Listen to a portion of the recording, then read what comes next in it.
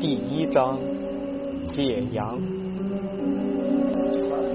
李嘉诚先生说过，当你放下面子去赚钱的时候，说明你已经成熟了。不错，我已经成熟了，因为我今年十八了。大爷，能借我一块硬币吗？你这小伙怎么这样？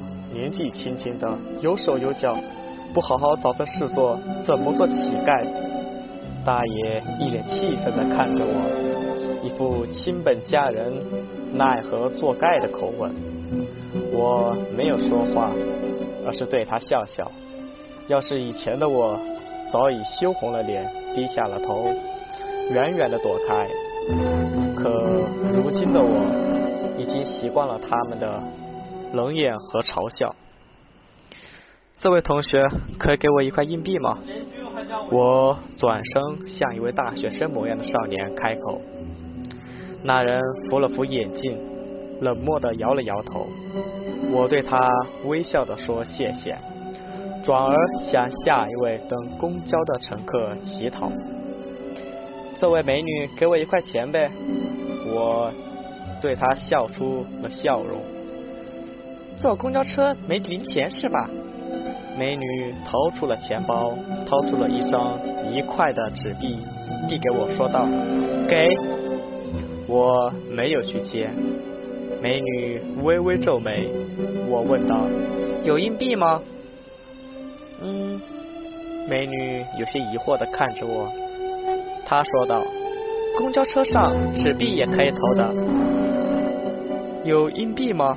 我只要硬币，如果没有那就算了，谢谢你啊。”我继续保持着笑容说道：“没有一块的硬币，倒是有两个五毛的，要吗？”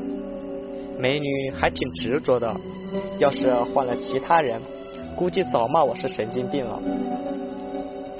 要的要的，谢谢你啊，美女。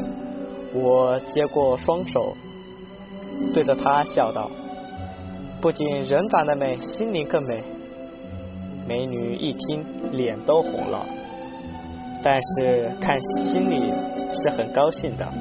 她红着小脸笑道：“我的车来了，再见。”“谢谢你，再见。”我朝着她背影招手，这个女孩倒是有几分像。杨金义，杨金义是我们以前村长的女儿，她也是我同班同学，跟我挺好的。不过后来我爷爷离开了村，我们也没有了联系。这一晃就是五年，只是到现在我也没能忘掉这个名字。我看着手里的两枚五毛的同色硬币，露出了会心的微笑。我之所以乞讨，是为了活命。我倒不是要拿这些钱去买吃的，而是要解阳。因为我的身体出了点状况，每晚睡觉都要用一百零八枚硬币。铺在床板上，三十六枚摆成天罡阵，七十二枚摆成地煞阵。抽取硬币中的阳气，要镇压我体内的邪气，以此保命。按照老人的说法，用五帝钱的效果最好，因为五帝钱里蕴含的阳气最多。可是现在是二十一世纪，哪来那么多五帝钱？而且每一枚都是价值连城，我哪睡得起？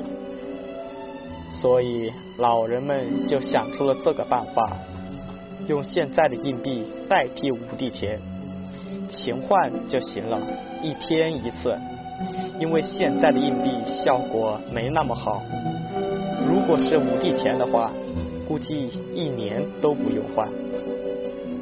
五帝钱，传说是清朝经历了五帝五位皇帝统治时期的铜钱，因为铜钱在百姓的手中流通，每经过一个人的手，就会沾染这个人身上的阳气，所以经过越多人的手，铜钱上所蕴含的阳气就越多。找不到五帝钱，只能按照五帝钱的形成办法。经历越多人的手的现代硬币，同样蕴含着阳气，只是因为时间不长，没有五帝钱蕴含的阳气多，所以必须勤换。睡过一晚的一百零八枚硬币，硬币上的阳气基本被我抽光了。我会将这些硬币收集起来，有时候会捐给红十字协会，有时候会捐到道圣宫的灯油钱箱了。我只借走钱上的阳气，我一般是不会去花这些钱的。但是如此强大的需求。每一天都必须有一百零八枚硬币来垫床，使我不得不想尽一切办法凑齐这些硬币。如果有一晚上没有垫硬币睡，或是垫，或是垫的硬币不够，第二天醒来，我整个人就没有精神，而且浑身冰冷，如死人一般，一动也不想动。除非为了保命，谁会拉下脸去乞讨？之所沦落到现在这个地步，还得从五年前的那件事说起。五年前，初一暑假，我和爷爷刚吃完中午饭，同村的吴立山就惊慌失措地冲进门，脸色呈菜色的说道：“秀才叔，出大事了，你。”赶紧去帮忙看看，李山，啥事如此慌张？你慢慢说。爷爷见其满脸都是汗豆的大珠，心里肯定知道是急事。你还是跟我去看看吧，这这说不清楚，还是您亲自去看一下吧。吴立山也不说是什么事，硬拉着爷爷就往门外去。我也跟着出去，爷爷都这么大年纪了，他还这样拉着，我在后面跟着爷爷。由于太匆忙，我连家里的大门都没关。到了吴立山的家门口，爷爷顿时皱眉，吓了一跳，因为吴立山的家本是土坯房。他爹留下来的房，因为破旧不堪，想改造旧房。因为他家在一个小山坡上，他想先把院前的小山包给挖了，夷为平地。没想到挖到了东西，然后工人出事了。说，到底怎么回事？爷爷瞪大双眼，长在小土包上。此刻的小土包有一个坑，坑口正往外冒着热气，那热气无比的烫，不仅烫，还有很大的风，好像电风吹吹出的风一般。爷爷皱眉看着那呜呜的鬼叫的洞口，让所有人离洞口远点，别让那热风吹到了。叔啊，我家不就是想改造旧房吗？然后就请工人挖地基，想把这小山包给挖了。工人挖到一半，挖出了这块石碑。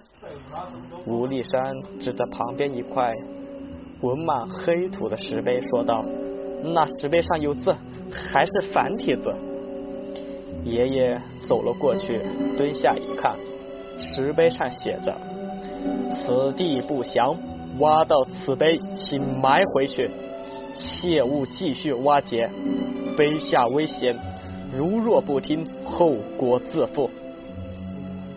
爷爷惊讶的看着这些字，然后转头看着吴立山说道：“立山，你不识字，为何见此碑还往下挖？”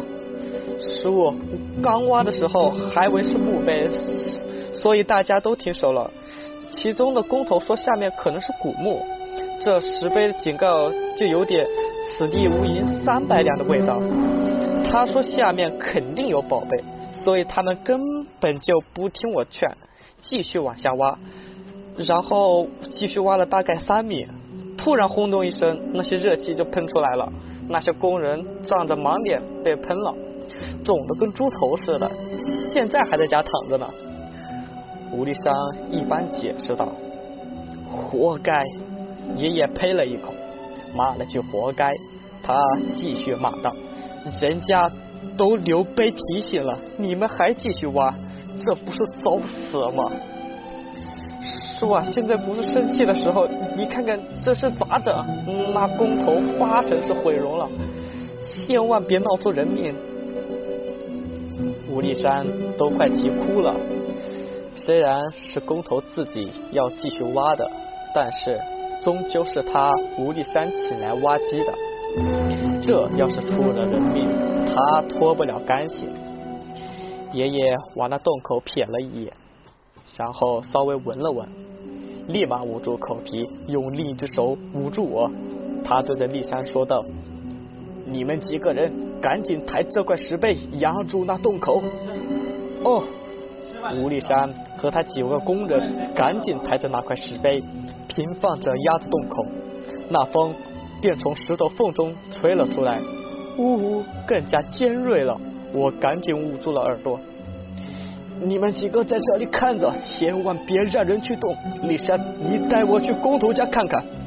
爷爷拉着我对吴立山说道：“好。”我们跟着吴立山往吴赖的家里去。吴赖本名吴来，大家就叫他外号。他本是本村有名的泥水匠，城里建房、猪圈、厕所之类都是他建的。一进吴赖家门，呕的一声，呕吐的声音。无赖的婆娘赶紧拿着脸盆去接，还帮着拍无赖的后背。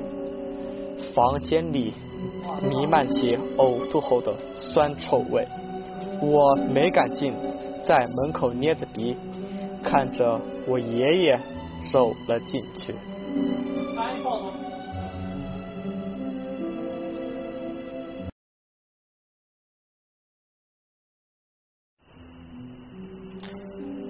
第二章，挖地基挖出石碑。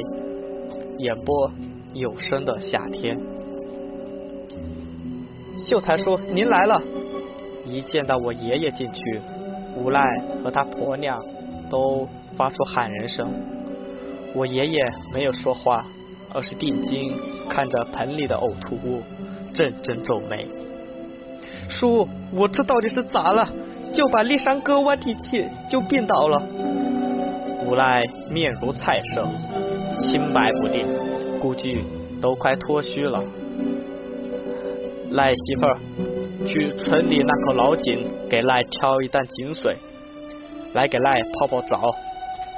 我爷爷没有回答他们，而是直接叫他们去挑井水。叔要给赖泡澡，我放水就行了，家里都是自来水，还有热水器，哪里还需要去挑井水？赖的婆娘随口说道：“我爷爷一听，不乐意的皱了皱眉。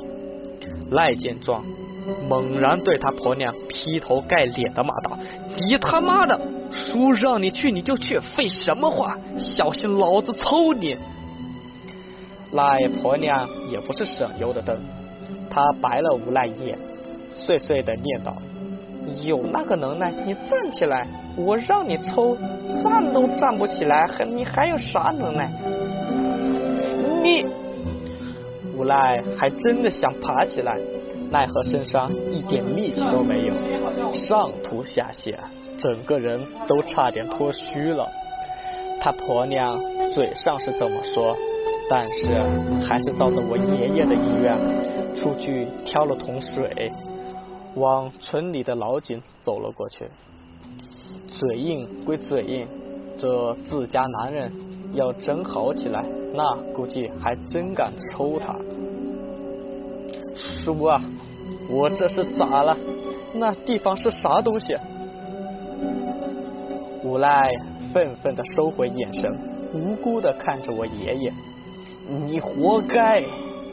我爷爷骂了一句：“那碑上让你别挖，你财迷心窍，现在报应来了吧？”说：“我知道错了，你快救救我吧，我都快难受死了。你你看看我还烫着呢，都快烧迷糊了。”无赖彻底怕了，求着我爷爷救他。我这不是让你媳妇去挑井水了吗？我爷爷摇了摇头，说道：“你这是中了火气，地火的火气。火气在体内肆虐，会排出你身上的污秽之物，你吐的就是。”叔啊，那照你说不就是好事吗？怎么还驱污秽之物，把我弄成这样？无赖不解的说道。凡事得有个度，讲究阴阳协调。你这是过火了。爷爷叹了口气说道：“地火为阳，驱除你身上的阴气。如果阴气太重，冬天的时候手脚冰冷，就是主要的体现。这地火就跟拔罐刮痧的那个罐火是一个性质。”只不过比那个火强了十倍不止，所以你体内这个火太强，你的身体承受不住。阳太盛而阴衰，阴阳不协调，不仅驱除了你身上的污秽之物，甚至连你自身上正常的水分和营养成分也驱除了大半，才导致你现在上吐下泻，不成人样。我的天哪！怎么会这样？我不就捅了一下吗？说那是啥玩意儿？这么邪乎？无赖恍然大悟，也有些后怕的问道：“还有说，你说那老井的水真能治好我不？”我猜那玩意应该是个砖窑，古时候的砖窑也可能是烧瓷陶器用的，日积月累的烧制，而且不打算用了。就连桶里面常年积累的地火之气一同封了，这下可好，让你一下子捅破了，被地火之气冲了煞。爷爷摸着商阳壶解释道：“怪不得立山哥家强的院一年四季都那么暖和，冬天的时候我还经常去他家打牌，感情是这么回事。”所以我让你媳妇去挑了那些老井水，井水阴凉，你泡一泡就没事了。那砖窑的地火之气有限，只要放完了，那就没事了。爷爷自信的说道：“记住，只能用井水泡澡，不能加温水。”知道了，谢着说。无赖起不下身送客，只能在床上道谢。爷爷出门，便带着我朝吴立山家走去，想看看现在的状况如何。只是到现场一看，他整个人都傻眼了。吴立山和那几名工人全部晕倒在地，然后狂吐不止，那症状跟无赖是一样的。而且那块压在洞口的石碑，此刻已经火红一片，犹如红的烙铁一般。爷爷吓了一跳，那要是砖窑的话，里面的地火之气肯定有限。就去无赖家，这一来回就半个小时。按理说这地火之气也该排干净了，可是这眼前这一幕。地火之气不仅没有减弱的现象，反而将镇压的那块石碑烧得通红，更是有将其喷得一晃一晃的，有将其喷飞上天的趋势。不对，爷爷猛然出声：“娃儿，你赶紧回家，我墙床底有个箱，你赶紧给爷爷拿来。”哦哦。我从没见过爷爷如此慌张失措，在我印象当中，爷爷总是那么沉着，凡事都如此游刃有余。今天见其如此表现，我知道出了大事，我立马朝着家里飞奔而去。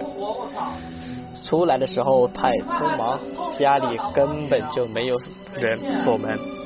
到了家里之后，我一把推开门，冲了进去。到了爷爷的软床前，我一把蹲下，扫了一眼，床底果然有一个布满灰尘的箱子，四四方方，外面是一个红色的柿字，标签好像是以前医生用的医药箱。我也没来得及细看，爷爷那么火急火燎的，肯定是出了大事。我背起箱就朝着吴丽江家奔跑而去。还真别说，这箱挺沉的。到了爷爷跟前，我一把将香递给爷爷，而后低头抱手抱着大腿，大口喘息，实在是太急了。只见爷爷接过了香，将其放在地上，然后啪嗒一声打开了锁，掀开了盖，里面有一层白了的红布，褪色很严重。拉开红布，我彻底傻眼了，里面的东西可真多，好多瓶瓶娃娃。我还看见一叠黄符，黄符已经是画好了的，上面有红色的图案。还有一把清朝的铜剑，那里面四方孔，外面圆形的铜钱。我瞥了一眼，上面写了“咸丰”二字，然后左右还有符号，应该是满文。就这样，清代铜钱造成的铁铜剑。只见爷爷抓出一把锅，然后握着铜剑。他走到那个坑口，望着烧得通红的石碑，皱眉。我到的时候，发现吴立山和那些工人已经不见了，想必是被抬走了。我现在也不知道该怎么办，就愣愣的站在爷爷那里，不知道要干嘛。娃儿，你去喊你立神杀一只鸡，叫他把鸡肋骨切下来，你来还给我。快去，要快！爷爷转头对我说道：“好。”我二话不说，撒开腿就跑往立山家的。只见立山叔和那些工人正在大厅里躺着，上吐下泻，屋里一阵恶臭。我把爷爷交代告诉了他们，立山婶儿二话不说。直接抓起了一只鸡就杀了，放完血之后，连毛都没有拔就开膛破肚，深深的割下了鸡肋骨。我拿着还在滴血的肋骨，朝着前院奔去，却见爷爷已经在那小山包周围放了一些符，每隔一段距离就放一块石头，石头下压着一张灵符。我扫了一眼。总共是八张，应该是八卦的八个方位。爷爷接过带血的鸡肋，在八张黄符上各插入一针鸡肋骨，而后用红线将那些鸡肋骨连了起来。果然是一个八卦。只见爷爷在八卦前蹲了下来，然后抬头望了望天空一眼。拿出七根肋骨，在他的地上又摆了个符阵，七根鸡肋，七张符，黄符被鸡肋骨插在了地上。我在一旁惊讶的看着，爷爷这到底要干嘛？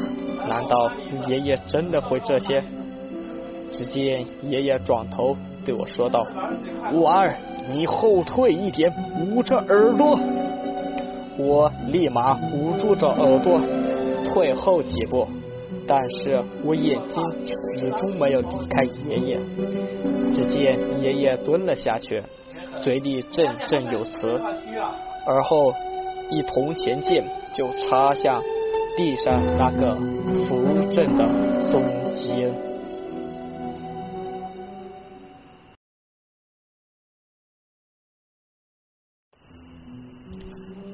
欢迎收听由有声的夏天演播的《茅山道士》第三章。嗖的一声，起风了。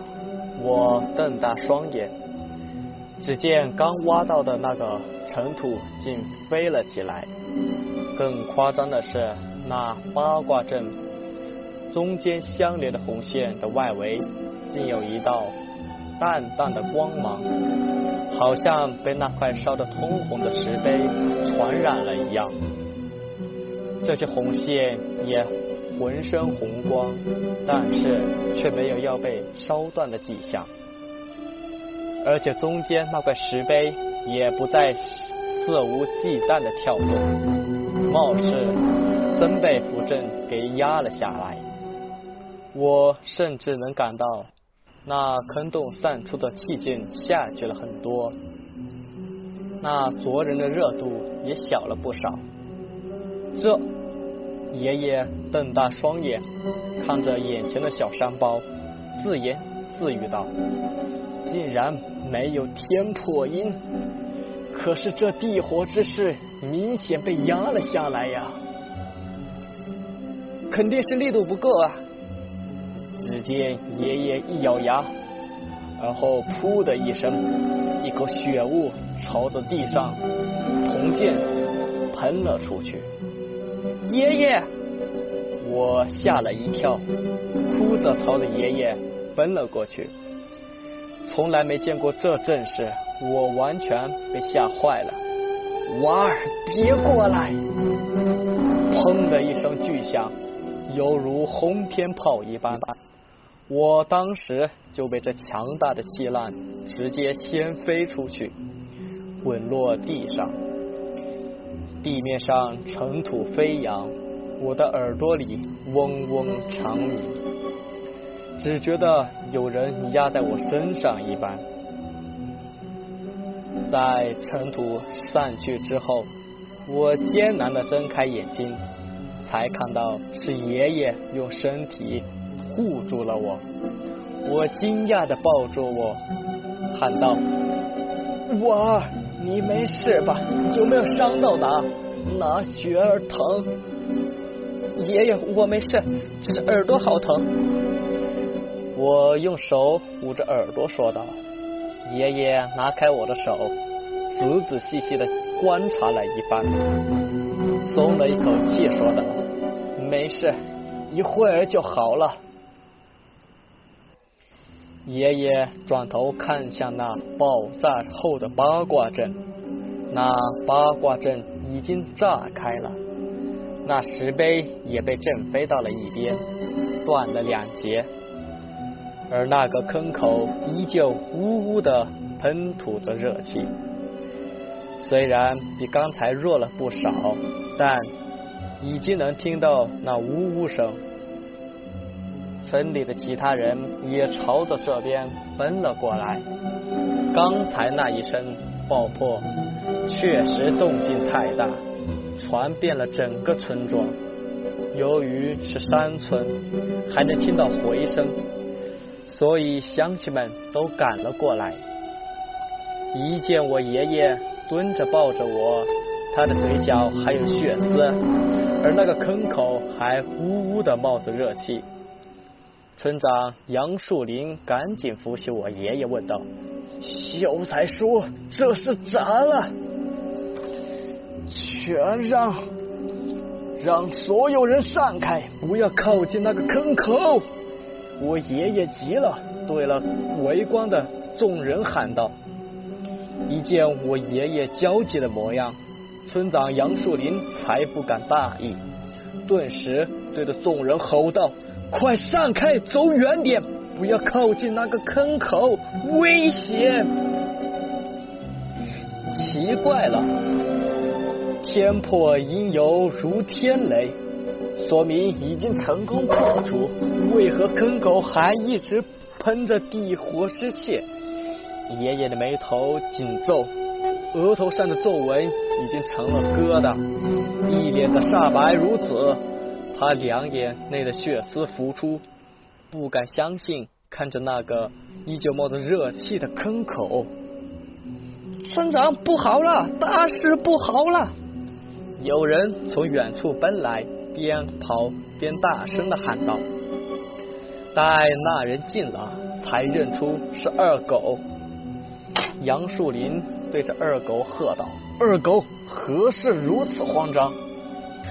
村长，刚才无赖家媳妇正在村口古井边打井水，突然一声巨响，他吓了一跳，一个没站稳，掉进井里了。二狗上气不接下气，指着古井的方向说道：“快救人！”爷爷一听。二话不说，朝着古井的方向奔去。杨树林边喊边追了上去，其他人也便跟着追了上去。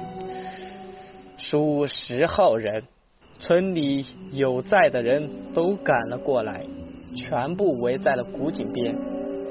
爷爷的腰上拴了手指粗的绳儿，另一头则是村还有几个年轻小伙拉着。爷爷一步跨过了井沿，绳则是慢慢的往下放，我的心都跳到了嗓子眼。我和爷爷他们都不让我爷爷下去，但是爷爷说这事儿因他而起，无论是让赖婆娘来井边打水，还是那一声天破音，都是他弄出来的，所以理应他下去。而且他还说，别看他年纪大，他身躯无比硬朗。爷爷还练过武术，村里没人能打得过爷爷。爷爷这么一说，连村长杨树林都没话说了，只能点头答应。众人将爷爷慢慢的放入井口，我则是在边儿上担心着。我想靠近井口。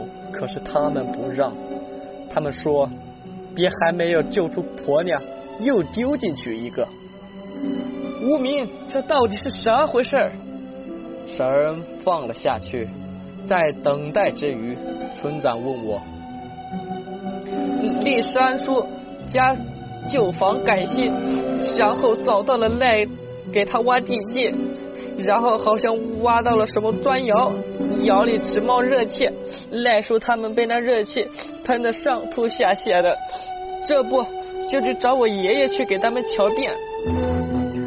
我双眼直视着井口，根本就没有心思算事，说这些话都是很机械的，有什么说什么。然后呢？村长杨树林继续问道：“我爷爷让赖婶来这儿打井水。”说赖叔只要用了井水泡泡澡，嗯，那病就能好。之后爷爷带到我那个坑口，我爷爷就做法事，谁知突然砰的一声，好像哪里出了问题。谁能想到赖婶就被那一声吓到了，竟然掉进了井里。我有些难过的说道：“爷爷明明是在做好事，没想到竟出了这些意外。”刚刚爷爷还喷了一口血，这才是我担心的，生怕他出现什么意外，所以刚才我才死活不让他下井，奈何劝不住他。正说话的时候，突然绳抖动了几下，众人一震，杨树林对着井口喊道：“说，找到了吗？找到了，拉！”井里传来了爷爷的声音，还有回音，拉！众人立即用力往上来，但是明显比刚才沉了不少，费了九牛二虎之力，终于是把爷爷拉了出来。爷爷搀着赖婆娘的腋下，其他几个人赶紧过来接赖婆娘。这呀，肥嘟嘟的。一整桶水，杨树林叹了一下他的鼻息，松了口气，说明还有气，只是他鼻青脸肿的，估计是刚才磕到碰到了，额头还有裂痕，正冒着血。这时爷爷出了井口，拿下嘴里叼的手电筒，大口喘息，边喘息边说道。你们把他送回去休息，休养一下就没事了。然后赶紧给我拿把铁锯来，快！秀才说：“你要铁锯干嘛？”所有人都诧异的看着我的爷爷，让你们去就去，别那么多废话。我爷爷急了，众人见状也没有再多说什么。有人送赖婆娘回去，有人则去找铁锯。不久，杨树林找来一把铁锯，村里铁匠家的，看上去还算锋利，不过貌似有些沉重。但是爷爷握在手里，好像一点儿也不吃力。按照爷爷的意思，村长和众人又将爷爷用绳慢慢放入古井当中。虽然不知道爷爷要干嘛，但是爷爷辈分毕竟高一些。也威望也高，他说的话一般没人不敢听，甚至连村长也一样。爷爷下井之后，井里便传来稀稀疏疏的声音，那是锯东西的声音。本来声音不大，但是井里空旷有回音，所以在井口还是能够听得清清楚楚。我和他们都在井口焦急的等待，足足过了半个小时，绳突然被拉动了几下，我们知道那是爷爷给的信号。村长几个人赶紧拉起绳，几十个呼吸之后，爷爷被拉出了村口。一被拉出井口，爷爷便大声喊道：“大家上开，快上开！”什么？所有人一愣。被爷爷的大吼吓了一跳，只听到井口的位置出来轰隆隆的声音，而且整个水井周围的土地一阵晃动，所有人吓了一跳。还好有些人已经走远了，他们朝着远处跑去了。轰，哗啦啦的水声，大家快看！天哪！跑出去一段距离。感觉安全了，一听到轰的一声，有人往头回去了，大喊一声，所有人便停下了脚步，转头看向了古井的位置。可一刚转头，彻底傻眼了。那井口为石板雕刻而成，圆形的井口，直径大概有一米。此刻的井口好像一个。大号的水龙头正朝着天空喷吐着白花花的水柱，那水柱好比水炮一般，无比的强悍有力，有种直冲云霄的感觉。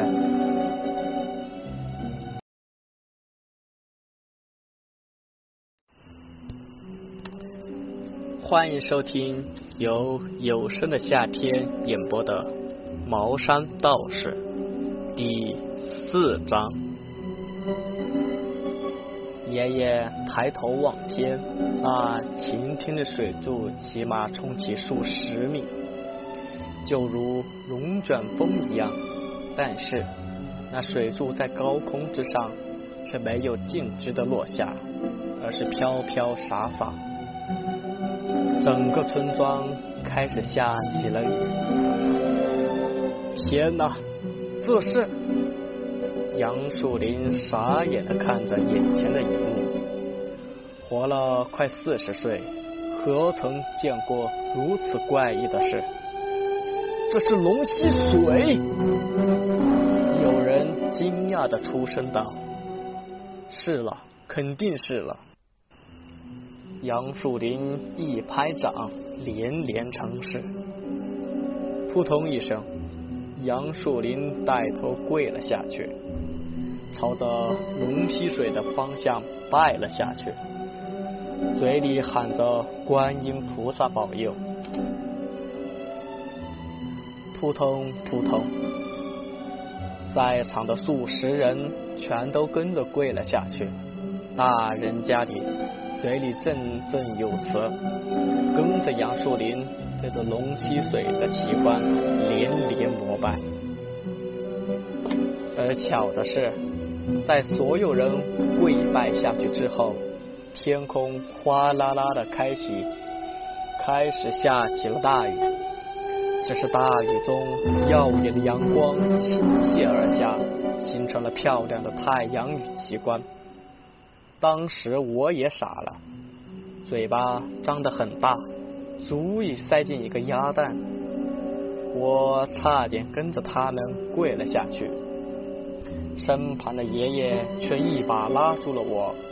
我不解地看着爷爷，爷爷却对我摇了摇头，一声不吭。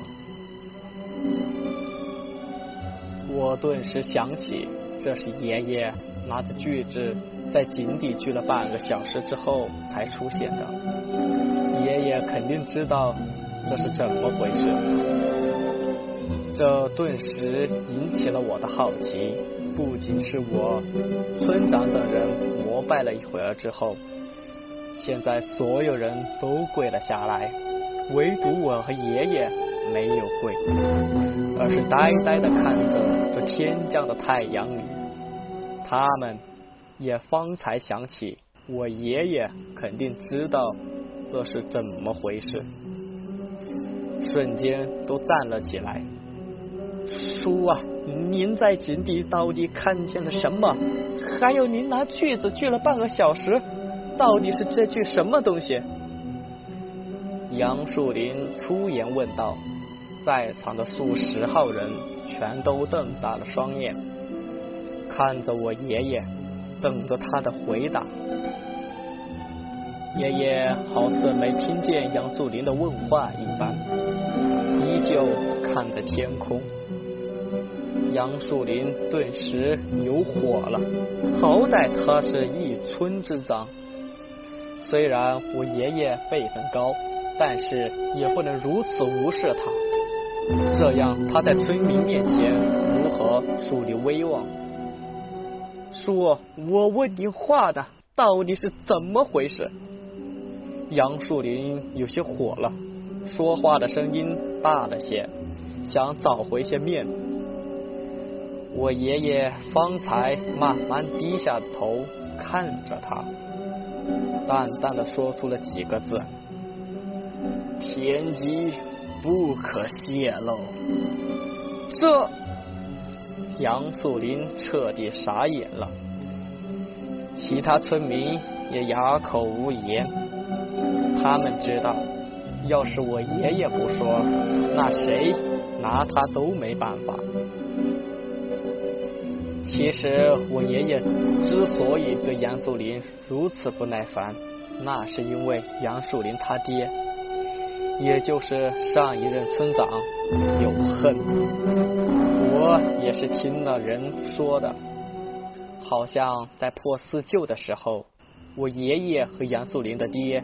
是同一个生产大队的，他爹杨胜利是生产队长，当时就抓我爷爷过去批斗过，抄了我爷爷的家，把一些古书、字集、字画全拿去烧了，还抓我爷爷过去蹲过牛棚，那本玄门武术还是用毛伟人语录的书皮掩护。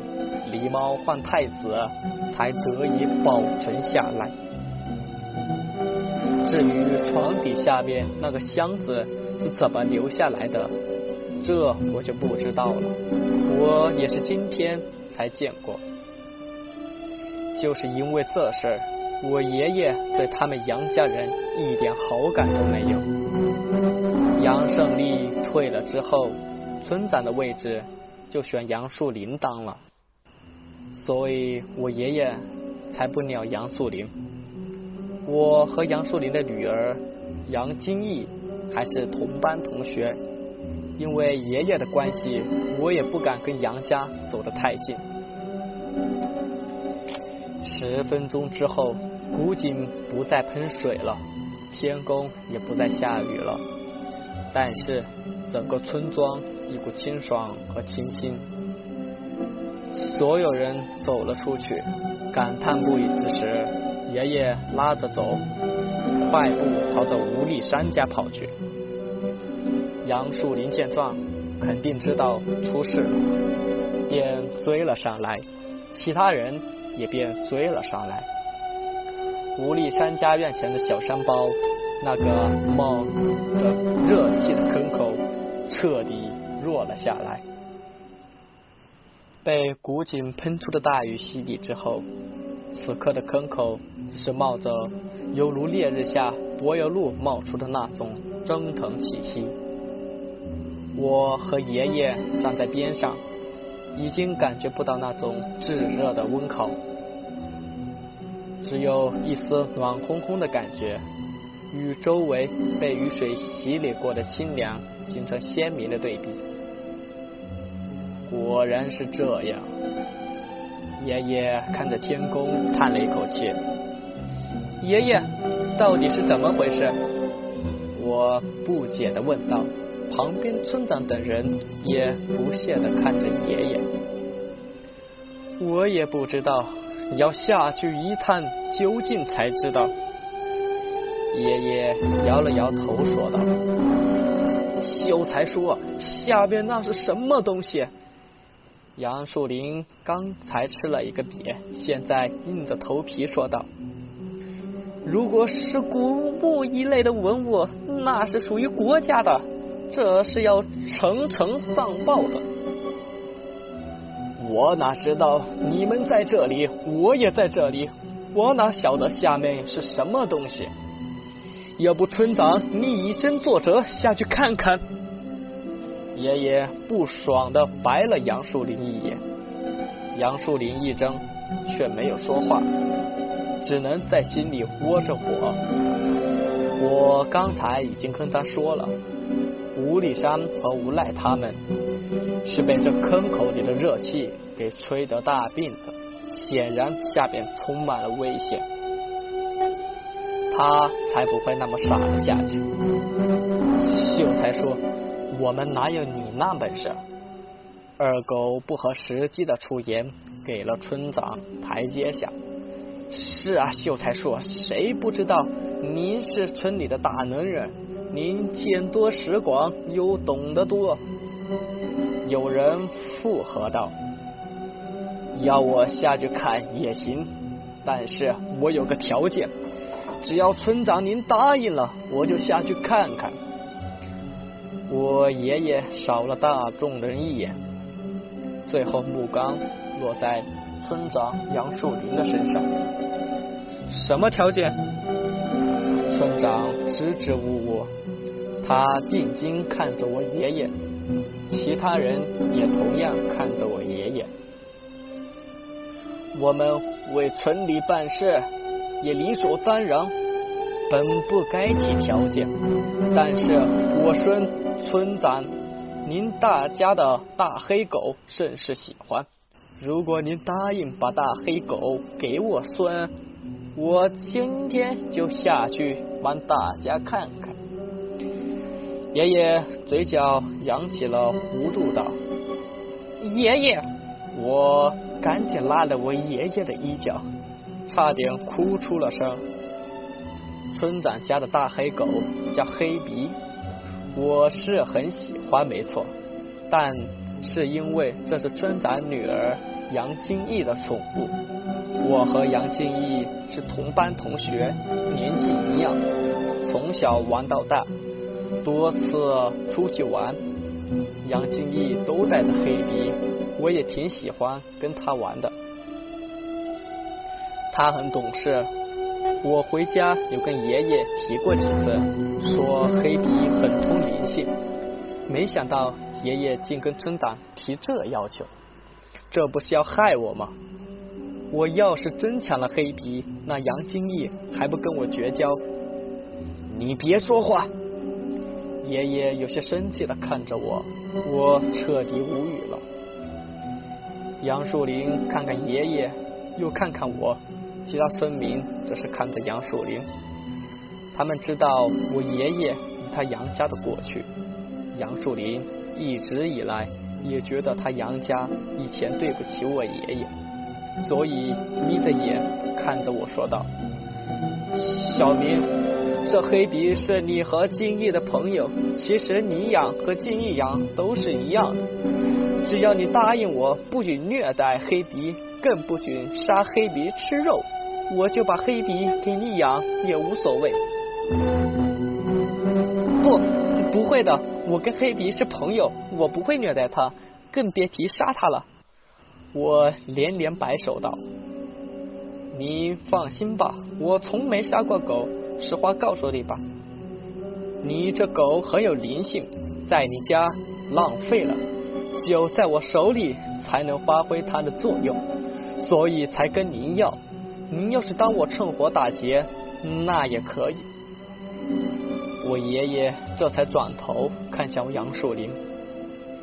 杨树林恍然大悟，得到我爷爷的肯定答复后，他也立马点头说好。这事完了，我一会就你去家牵狗送到您家去。本来我还想拒绝的，但是爷爷说黑皮很有灵性，还有作用，所以我也没有再说什么，深深把话咽了回去。如果杨金义要怪我。不理我，那大不了我再偷偷的把黑笔还回去。好，一言为定。有这么多亲戚乡亲作证，也不怕你耍赖。爷爷张开漏风的嘴说道：“娃儿，你朝着坑口撒泡尿。”咕咚一声，我咽了咽口水。要说没人撒尿也无所谓。关键是这么多人围在一起，最让人接受不了的，群中还有几位大婶儿。要是我再小几岁，那也无所谓，毕竟是个小娃娃。可我现在读初一了，好歹也算个小大人。按照爷爷的说法，在他们那个时代，十三岁都要准备娶媳妇了。你说这么多人看着。我好意思尿吗？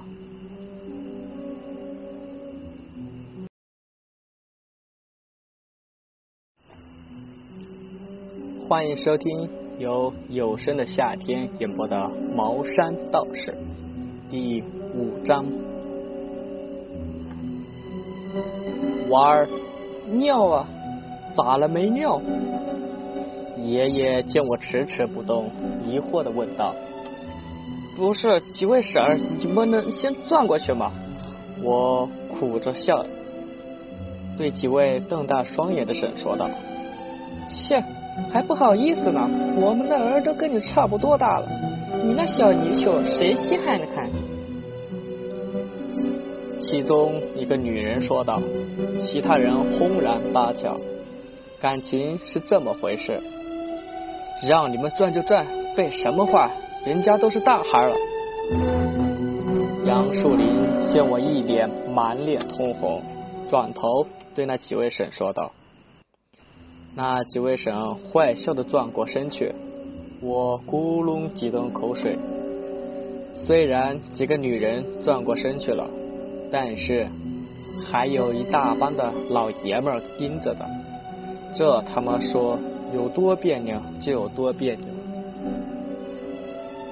我拉下裤头，憋了几个呼吸，总算是憋出来了。哗啦啦的水声朝着那坑口就倾泻而下。哎呦喂，人不大，鸟还不小。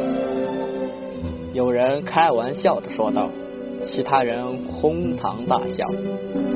我的脸唰的一下子就红了。赶紧抖了抖小鸟，就拉起了裤头。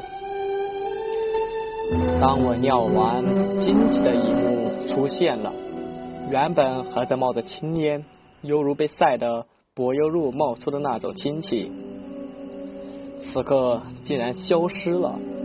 众人也现了这么一点，顿时咦了一声惊呼，惊喜的看着我。耶，还真神了！一泡尿有这么大作用？那几个婶转过头来看着坑口，惊呼道：“你们懂什么？这是童子尿的强大功效。童子尿破百邪。我爷爷摸摸我的头，说道：“娃儿要好好保住童子身。除了这童子尿，还有童梅，也就是童子血，也可以破白邪的。”我知道了。我点了点头。其他人恍然大悟。你们拉好绳，我下去看看情况。我爷爷又在身上系了系绳，对其他人说道：“爷爷，我也想下去见识一下。”通过今天这事儿，我对爷爷的进步有了了解。他的那一套，貌似还真有效。至少今天出现的这些现象，我还完全搞不懂是怎么回事。我对这些事充满了好奇。这坑口竟然会无缘无故的吹出热气，人一被这热气一吹就生病，然后那古井竟喷出数十米高的井水，而后下了一场大雨。难道仅仅是巧合吗？而且爷爷的那两手摆好的符阵，好像是真的有用，不像是花架。难道他那本书《玄门武术》介绍的都是真的吗？爷爷看着我渴望的眼神，最后点了点头，说道：“好吧。”一会儿我先下去确认没有问题了，你再下。嗯，我点了点头。爷爷刚才凝重的犹豫，我想了想，他心里权衡了一下，也许是想让我真正的见识一番。众人将爷爷用吊绳从坑口放了进去。好像也不是很深，绳下去十米之后就到头了。爷爷背着他那个箱子下去了，手里还拿着手电，估计现在正在查看里面的情况。突然，绳一松，应该是爷爷那一头解开了。他朝着四周走去，毕竟绳子不够长。我由于好奇，也蹲在坑口，用手电照射下去。光束并不能够一照到底，里面灰蒙蒙的一片。坑口冒出一股浓浓的霉味。啊！突然，我脚下一滑，雨后的坑口无比泥泞，我一脚踩空，眼前一黑，啊的一声惨叫。掉进了坑里，坑口的其他人都吓了一跳，都本能的伸出手去拉我，只是迟了。毫无防备的落，毫无防备的跌落，那种失重感让我惊吓不已，失声尖叫了起来，耳边传来了呼呼的风声，但是想象之中那种疼痛并没有到来。只觉得有人抱住了我，我准备睁眼睛看清楚，只觉得一阵刺眼，根本就睁不开。我用手遮眼，慢慢的睁开，看见的是一束强烈的光束照着我的脸。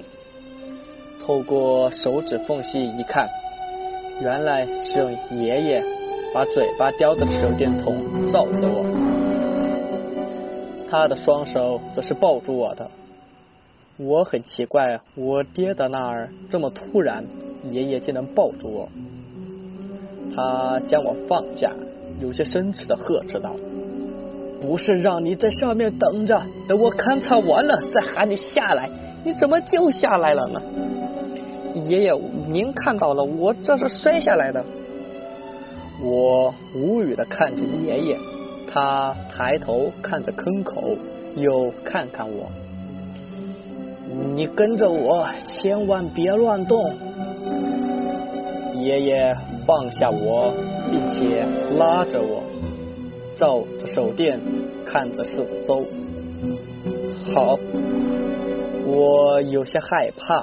手电筒向四周照了过去，四周一片蒙蒙的，可见度并不高。而且刚下来时，我就感觉到有些难受，气温还是很热的，而现在无比的潮湿，那衣服紧紧的贴着皮肤，黏糊糊的，无比的难受。总之就是有一股心悸的和胸闷的感觉。我知道那温度本来是坑里的温度，那潮湿。则是老井水化成的雨水造成的，我不知道这中间有什么关联，或许仅仅是巧合而已。但是此刻洞内的气氛一阵阵的窒息感，仿佛在蒸桑拿一样，我呼吸有些困难，所以大口的呼吸，避免缺氧。但是那股霉臭味让我一阵阵的反胃，地上也是黏糊糊的一片，我脚踩上去是一个个的脚印，那应该是灰尘和泥形成的泥泞。只是当爷爷手里的手电从地面上扫过去的时候，我和爷爷突然吓了一跳，手电照到了一个人静静的坐着。背对着我们，我能感得到爷爷的紧张。他将我挡在了身后，用手电上下打量着那个人的背影。久久之后，才长长的呼了一口气。我有些害怕，紧紧的抓着爷爷的手，躲在他的背后，声音有些颤抖的问道：“爷爷，那是什么东西？”应该是遗体。爷爷低声的说：“娃儿，别出声，这地方有些古怪，要不您先上去。”不，来都来了，我就想看看。虽然有些害怕，但是好奇心作祟。我咬着牙说要继续跟下去。爷爷见我坚决，便没有再说什么，而是用手电。照射向一旁，这一照又把我吓了一跳。原来不止一具尸体，在原来这具遗体的两边各有一具遗体，呈打坐状，不过双手却是握着东西插在地上，貌似是武器。三具遗体呈三足鼎立状，姿势都一样。就是双手反握兵器插在地上，而三个人已经成了干尸，那脸已经凹陷下去，黑乎乎的，那黑色的牙齿还有髌骨都露了出来，衣服也破破烂烂，应该是经过许多年的风化所致。我屏住呼吸，不敢用力。甚至连呼吸都断断续续的，心里砰砰直跳。之前爷爷帮人捡骨头的时候，我有在旁边看，但是就是紧张了一些，不会感觉到害怕。但是此刻却蒙上了一种神秘和恐怖，甚至可以说是诡异。爷爷用手电照向三人的中间。中间竟有一只坛，坛上面竟放着一个四四方方的东西，有如砖块一般。爷爷一愣，拉着我快步朝着三具遗体走了过去，在距离遗体两米的位置停了下来，貌似爷爷在确认没有危险。许久，爷爷才出声：“娃儿。”你在那别动，爷爷过去看看。嗯，我重重的点头，站在原地，心里依旧紧张无比。只见爷爷将手里的手电递到了我的手里，按照他的意思，我拿着手电照着那个坛，他则是朝着坛一步一步走了过去。三具遗体两两之间的距离大概有两米，呈三足鼎立排列，他们依旧保持着静坐。双手绑握兵器插入地面的姿势，只是此刻我意识到了，他们空洞漆黑的眼眶盯着那个坛，貌似坛里有可怕的东西。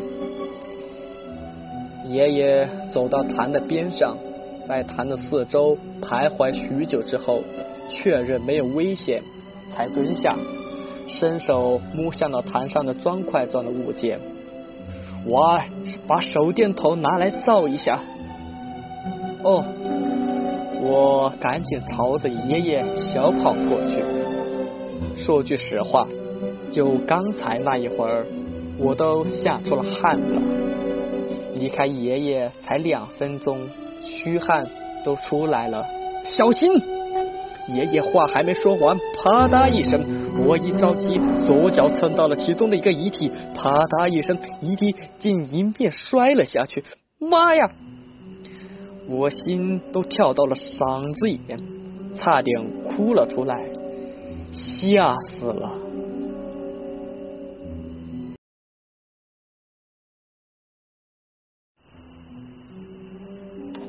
欢迎收听由有声的夏天演播的《茅山道士》第六章。我跑到爷爷身边，紧紧的抱住爷爷的腰。爷爷接过我的手电筒，照向了那具倒地的干尸。看见周围没有异样，才安慰道：“别怕，没事。”我这才转过头去看，那座尸体犹如木头一般，直挺挺的仰面趴了下去。因为死之前的姿势是打坐的姿势，所以此刻已经保持着硬邦邦、直挺挺的样子。估计要下葬也得坐着下葬，根本就掰不直。我收回眼神。顺着手电筒的光束，看到爷爷手里拿着那块砖块状的物体，原来是一方褐色的油纸包。爷爷小心翼翼的打开油纸，映入眼帘的是一个牛皮纸的信封，信封之下貌似是一本线装的古书，古书上的字歪歪扭扭的。我他妈一高中生，台上这样，竟然一个字都不认得。好在那个信封上的字我认得，虽然也是繁体字，但是不像那页书上的字一样歪歪扭扭。那封信上写着：“进动者开启。”我和爷爷对视了一眼，这是三个人留给进洞的人的。爷爷的喉结动了动，将那古书递给了我，让我拿着，而后小心翼翼的拆开了那个信封，掏出叠好的信纸，摊开，信纸里哗啦啦的声响。可能是由于太干燥的原因，那信纸上的字已经泛黄了，字的边缘都有些重影，但是字依然清晰，而且字是红色的字，那信纸传来朱砂的味道，应该是用朱砂写的。信纸上写道：“本人毛正守。”与二弟毛守成、三弟毛守义一程下山返乡途中经过此处，现此炼尸窟内有脏兮，祸害乡里。炼尸窟，爷爷瞪大双眼，吓了一跳。很显然，他知道这是什么东西，而且是很可怕的东西。爷爷，那是什么？我小声的问道。爷爷并没有回答我，或许根本没有时间回答我，而是继续盯着那个信纸看。经我兄弟三人探查。此炼尸窟为以邪放邪教方式炼黄丹所铸造，但因其学艺不精，炼尸窟竟炼出了一只九头阴灵，其本人已被九灵九头阴灵所杀，取心而死。我三人费尽周折，终将此九头阴灵封印于此坛中。并决定以三阳地火阵困杀之。爷爷艰难的咽了咽口水，我见到他脸上的凝重。他掀开了信纸的第二页。你能进到炼尸窟来，显然三阳地火阵结界已被古井水所破。如果你是外行人，请将信和茅山道志。放回原处，并且去寻找能懂得此行的人前来。如果你本人是懂行之人，请按照以下的方式啊探查九头阴灵是否已经被困杀。请翻开《茅山道志》第十七页，遵照阳破阵的方式，取七根生机肋骨。按照北斗七星的方位，在风林坛前摆困阳阵，以煞气插七关生穴，而后摇破舌尖，以真阳连喷吐风灵痰。如果七个呼吸之后，痰无任何异动，表示九头阴灵已彻底困杀；如果痰震动，则表示九头阴灵并没有死，请将本人留在有纸包内的三十六道风灵符贴于灵坛之上，加固镇压此阴灵。我低头看了下油纸包内，果然有那本古籍。我小心的翻开了古籍。果然，里面还夹着一叠黄符，这应该就是信中提到的三十六张风灵符。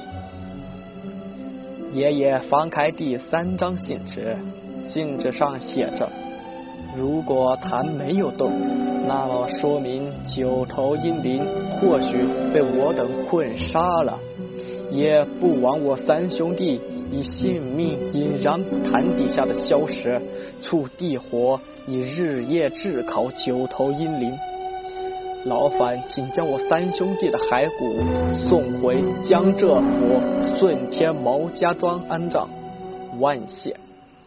此茅山道志便赠与阁下，希望阁下能借此书中的茅山术，降魔除恶，替天行道。但是如果不幸九头阴灵并未被困杀，那我三兄弟的计划算是失败。三阳地火阵未能困杀之，便只能以茅山道志中的七星天雷阵轰杀之。七星位中的三位爆破位可以我三兄弟的尸骸冲位，另外的四人你们可以去。我毛家庄寻找，我毛家庄来驱魔世家，应该有能借到天雷的人。还有那古井中的灵龟，给放了吧。本意是以灵龟压泉眼，克制三阳地火阵，不殃及整个村庄，并且此炼尸窟的地火结界，也有此灵龟和泉眼来破。既然结界已破，请放了灵龟。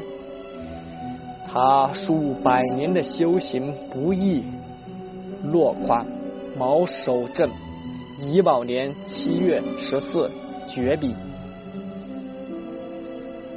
我见到爷爷看完信后的震惊，他整个人都在微微的颤抖。我当时并不知道这个事件的严重性。只见爷爷瞪大双眼，将信又仔细的看了一遍，生怕漏了一个字，直至最后确定记了下来，才将信纸放回信封中，而后将信封放入怀中。我将油纸包递给了爷爷，他掏出了里面的茅山道志，沿着。缝隙翻开，里面则是那三十六道灵风符。借着手电筒的光芒，他扫了一眼，点了点头，而后翻到信中所提到杨破阵记录的那一页，仔细端详之后，爷爷连连点头，喃喃自语道：“是这样的，没错。”这个我会。他猛然转头看向我，沉思片刻，说道：“娃儿，一会儿爷爷以阳破阵试探阴灵是否还活着，在爷爷喷吐舌尖血到坛上之后，你在心里默数一到七，不管坛动没有，你要快将这符。”贴一贴在坛上，好，我从爷爷的手里接过风铃符，随后既有了犹问：爷爷，这也没浇水，怎么贴得上去？不用浇水，爷爷吐完舌尖血，自然能粘住这些符。爷爷说道。我点了点头。紧张无比。刚才爷爷在上面的坑口已经吐过一次血了，他的脸色已经有些苍白。此刻还要再来一次，我真的很怕爷爷会出事。只见其摸出一把鸡肋骨，蹲下之后，按照北斗七星的位置，一根根的插在了地上。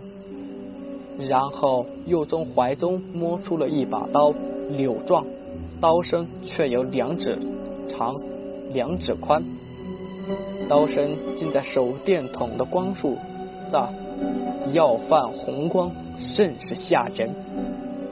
只见听我爷爷嘴里振振有词，而后反握柳刀，一刀插在七光中生门的位置。最后一咬牙，噗的一声，一口鲜血喷向那坛。一、二、三、四、五、六、七，我在心里默念到七，坛没有动。刷刷刷，我将准备好的风铃符一张张的贴在了坛上。如果爷爷说的，坛上的鲜血。真能粘住那件符，所以过了足足十个呼吸，我才贴完这三十六张风铃符。爷爷没动，还没动。我兴奋而又紧张的说道：“坛没动，也就意味着信中那九头阴灵已经被困杀于此。”突然，就在我话音刚落。唰的一声，好像有东西从我身边飘过，一阵阴风，我彻底愣住了，全身的鸡皮疙瘩都起来了，背后有些凉。爷爷，我好像看到有东西从我身边飘了过去。我低声的、颤抖的声音说道：“什么？在哪？”爷爷喷吐完真言凉，正大口的喘息，听到我的话，猛然站了起来，而后。用手电筒照射的我的四周，没有啊，什么东西？别怕，有爷爷在。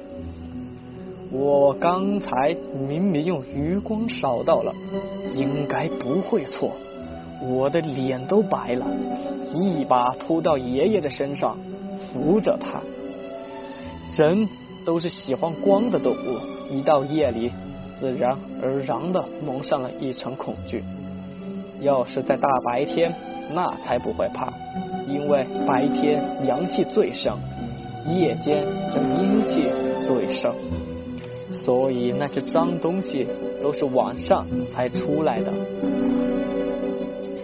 此刻在洞里，四周暗摸摸的，除了爷爷，我只有旁边这三座尸体，还有一个让人敬畏的坛。那种黑乎乎的痰，跟水缸一样。家里那个腌咸菜的坛就长这样。突然，我感觉到有人在摸我的背，我整个人吓了一跳，小心脏都跳到了嗓子眼。我一把抱住爷爷，大喊，大声喊道：“爷爷，有东西在摸我的背，冰凉凉的！”爷爷抱住我，猛然用手电筒照向我的后方。然而，并没有什么东西。爷爷拍着我的背说道：“没东西啊，是你太紧张了。走，先让他们把你拉上去，到了上面再说。”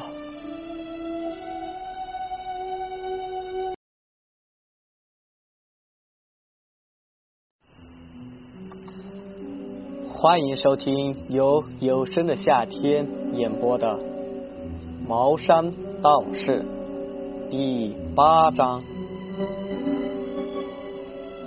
爷爷见众人目瞪口呆，显然都很难以相信，但是却被深深的吸引住了。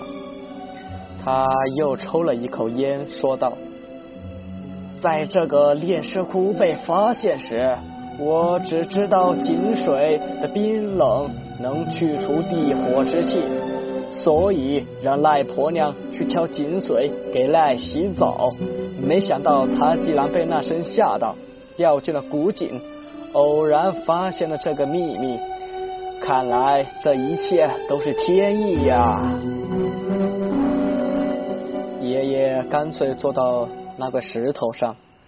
与那三具干尸并排坐着，继续说道：“赖婆娘掉下去，就刚好掉到灵龟的背上，这才幸免于难。也可能是灵龟有灵，救了她一命。我下去之后，用手电一照，发现四条锁链锁住了灵龟的龟甲边缘。”而灵龟的背上竟然刻了字，这就是这商位刻的。他们说，如果炼尸窟被发现，三阳地火阵万一被破，将对整个村庄造成毁灭性的伤害。破解的方法便是断了锁住灵龟的锁链，让灵龟游走，泉底的泉眼就会喷出井水。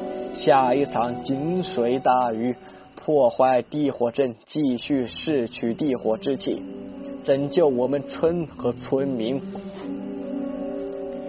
乡亲们彻底傻了眼，他们呆呆的看着爷爷，就跟听神话似的。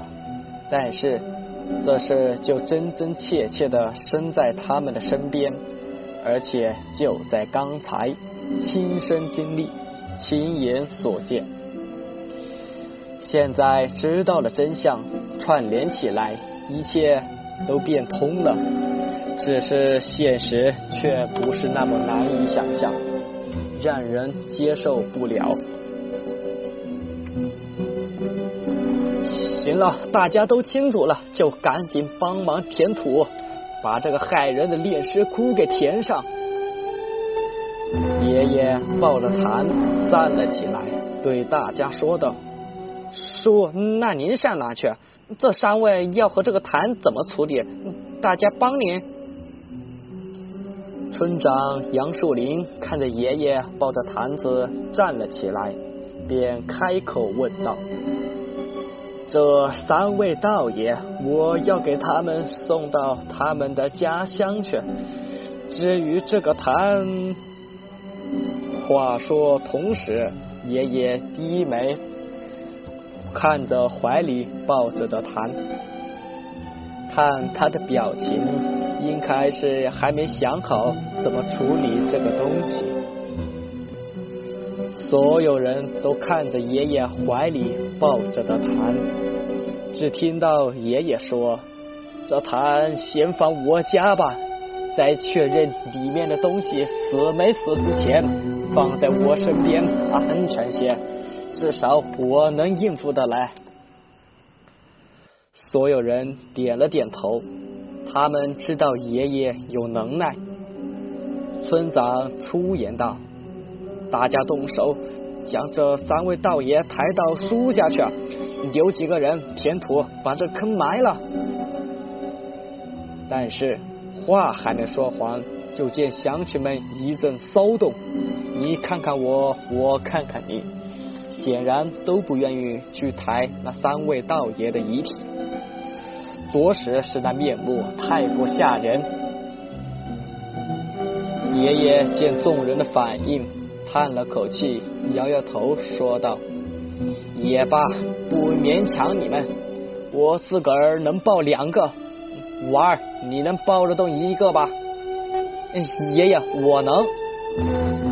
我点了点头，帮这家伙，我可不怕。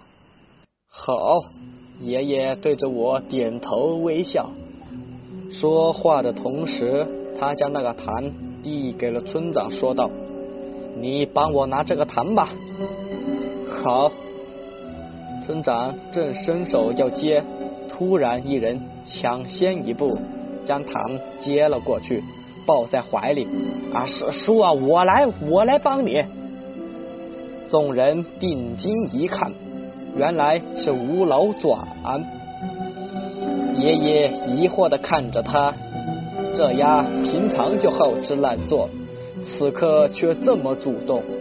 爷爷微微皱眉，却没有反对，只是严肃的交代道：“你抱可以，千万要小心注意，别摔碎了。”好，吴老转连连点头答应，其他人也乐意他自告奋勇。以前都没见他如此积极，现在这种吃力不讨好的东西，他就自告奋勇，所以也都没拦着。爷爷朝着三位道爷的遗体走了过去，朝着三位道爷抱拳弯腰，九十度行礼，然后伸手，左右臂各抱着一位道爷。腰板一挺，就抱离地了。一位道爷的遗体大概是四五十斤重，两位加一起就百来斤。这里是山村，都是地地道道的农民，手脚都很有力。虽然爷爷上了年纪，但是他是练家出身。这区区百来斤对他来说真不算什么。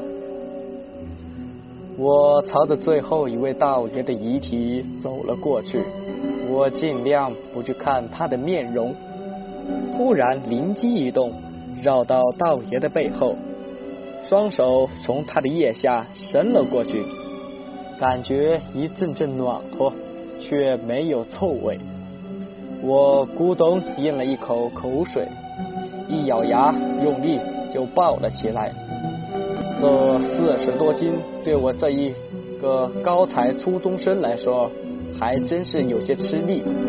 毕竟我们是动脑力的，而不是动体力的。这一时报是可以，但是从这里到我家，足足十五分钟的路程，真心够呛。爷爷转身带头走在前面，我在后面跟着。吴老转则是在后面，而村长则是招呼大家动手铲土，将坑洞给填掉。可是刚刚走出几步，意外发生了，哐当一声，我和爷爷猛然回头，只看一眼，顿时傻了。吴老转的手里空空如也，他还保持着环臂的动作。他傻眼的看着脚底，刚才放三具倒叠的石板，石板上一堆陶片，便是那个坛，周围还飘散了那些黄符。坛经过长年累月的地火熏烤，早已非常的干和脆，此刻彻底摔碎了瓦片，而后在碎片的中间依稀可见一团黑乎乎的事物。吴老转，你他妈找死吗！爷爷大怒，放下两位道爷之后，立马冲了过去，一脚就踹向了吴老转的肚子。吴老转啊的一声惨叫。被踢了出去，扑通一声，捂着肚跪在了地上，呕的吐出了一口酸水。众人的脸一阵抽搐。别看爷爷上了年纪，这一脚起码二百斤力。这吴老转肯定是故意的，从一开始就计划好的。之前他都没在场，我们。一下坑口回来，他就在了，肯定是听说挖的古墓什么的，想来捞好处。而且平时流里流气的一个人，整天无所事事，不务正业，以至于如今四十多还是光棍一个。此刻竟然自告奋勇的去抱那个坛。他还不是想看看坛里是不是装了什么宝贝，怕被我们爷孙俩给独吞了。爷爷非常生气，又有些担心，他的脸色微微白。从他的眼里，我能感觉到他对眼前的那堆陶碎片的忌惮。只见他慢慢蹲下，然后掏出了那把铜钱剑。将那些碎片一一挑开，周围的村民慢慢围了过来，想要看看究竟。全都离远点！爷爷突然大喝一声，所有人顿时止步，却也没有要后退。他们所在的位置刚好能够清清楚楚的看到，再退一步的话就看不清。那碎片压的是什么东西了？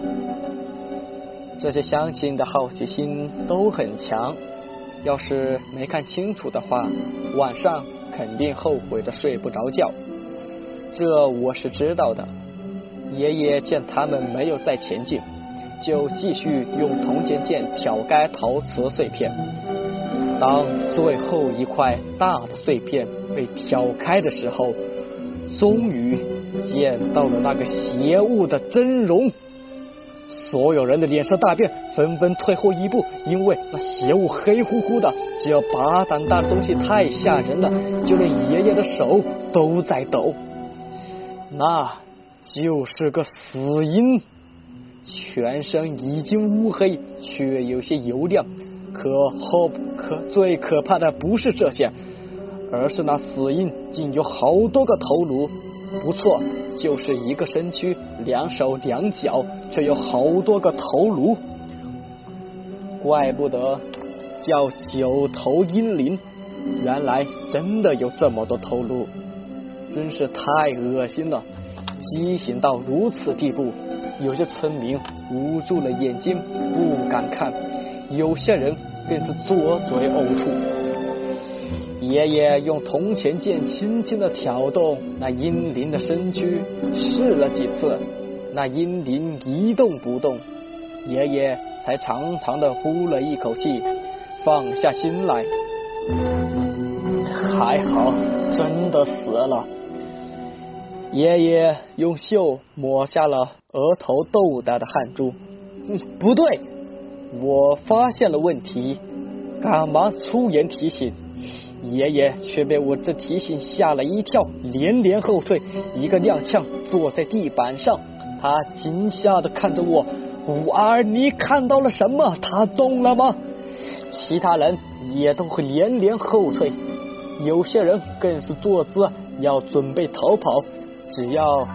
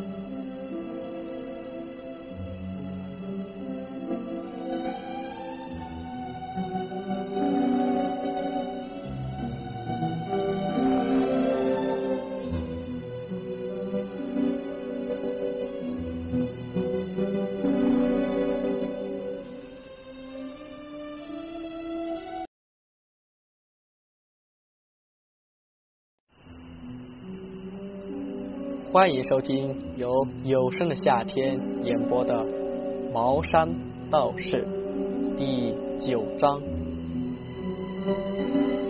有爷爷在我身边，我的心才稍稍安定了下来。我帮着爷爷找来了柴火，并且去五里山家拿了桶花生油，而后将那个八个脑袋的死婴。用夹蜂窝煤的夹钳夹到了柴火堆上，浇上了花生油。爷爷一根火柴点了香，点了根烟，而后把未熄灭的火柴往火堆上一扔，那个死黑鹰就被熊熊大火吞没。我看着熊熊大火，却莫名的有种难过的感觉，眼角竟然在不自觉中。落了两滴泪。我和爷爷守在火柴旁边，直到那堆柴火烧成了灰烬，那个死婴也烧成了灰烬，甚至连渣和骨头都没留下，因为爷爷反反复复用那夹火钳夹在灰烬里捣鼓了许久，也没翻到什么。按照爷爷的说法。这死婴在坛中被三阳地火熏烤了百年，早已干燥的如同柴火一般，一点就着，甚至连骨头都能当柴烧。我想想也想通了，老师有说世上的事物其实分析下去都是一样东西，一样的物质，将它们分解之后。骨头和柴火的最终成分都会大同小异。娃儿走了，将三位道爷送回家去。爷爷拉了拉还在愣神的我，而后随口骂了一句：“这帮孙这么胆小，贵儿，你记住了，别人都是靠不住的，唯一能靠得住的只有自己。”哦我知道了。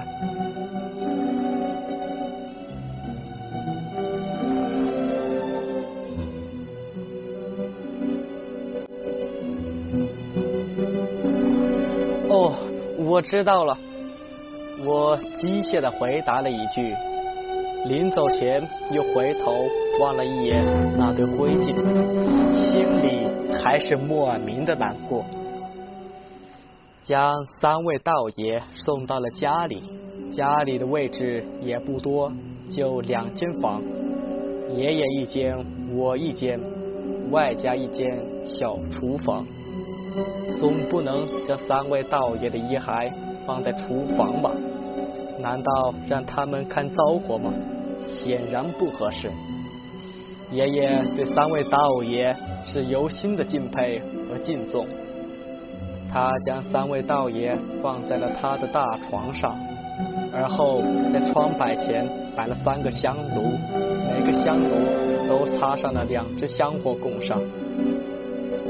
三位道爷占了爷爷的床。爷爷晚上自然会跟我挤一张，不过也好，今天吓得够呛，跟爷爷一起睡，便不会害怕。娃儿锁门了，我们去找杨树林要狗去，这可是他亲口答应咱爷孙俩的。爷爷点完香烟。拜完三位道爷之后，对我说道：“我一听便犹豫了起来。关键这狗是杨金义的，他可喜欢这狗了。要是把他的狗抢过来，他还不得恨死我？”我小声的劝道：“爷爷，算了，我觉得黑鼻。”还是跟着金义好，至少他们家给黑鼻的伙食肯定比我们给的好啊！你懂什么？别废话，跟我走。爷爷不由分说的锁上门之后，拉着我就朝着村长家走去。到了村长杨树林的家，他们家的大门竟然紧闭，但是外面没有上锁。显然是从里面锁着的，显然有人在家。这杨树林还真怕死，这村长怎么当的？这么丁点的事，就吓得一回家把门锁上。爷爷看着紧闭的大门，笑着说道：“他对杨家的人没有好气。”因为杨树林的父亲批斗过他，这个仇记到死也不会忘。杨树林，爷爷朝着杨家喊道：“按咱的约定，我来领黑皮走。”从门里传出了一阵阵狗吠，是黑鼻的，我认出了他的叫声。黑鼻是我，别叫了！我跑到门口，对着黑皮说道：“呜呜呜呜！”黑皮一见到我，叫的更大声了。透过门缝，我竟看到黑皮对着露出了锋利的牙齿，他那水蓝色的眼珠竟带着恐惧。而且边吠边退，好像很害怕我似的。黑鼻，是我啊！难道你不记得我了吗？我是杨金叶的朋友，时常带你出去玩的无名啊！我对着黑鼻喊道。可是黑鼻好像根本不认识我。对着我一直狂吠不止，甚至四爪抓地，抓出了爪印。他已经做好了攻击的姿势。黑笔，我再次喊了一声。嗖的一声，黑鼻朝着我扑了过来，但是中间隔着木门，砰的一声，黑鼻重重的撞在木门之上，而后扑通的一声落在地上。爬起来之后，他再次对我狂吠不止。黑鼻，我怎么了？是谁？外面是谁？屋屋里传来杨金叶的声音，声音由远而近，显然杨金叶是从内院朝着门口走来的。我们这房都是瓦房，分内院和外院。外院一般就是住房，嗯，内院一般是院和厨房。是是我无名，我对着门内说道：“今夜快让黑鼻别废了，这样两天没见我就把我忘了。”黑鼻别叫了，是无名。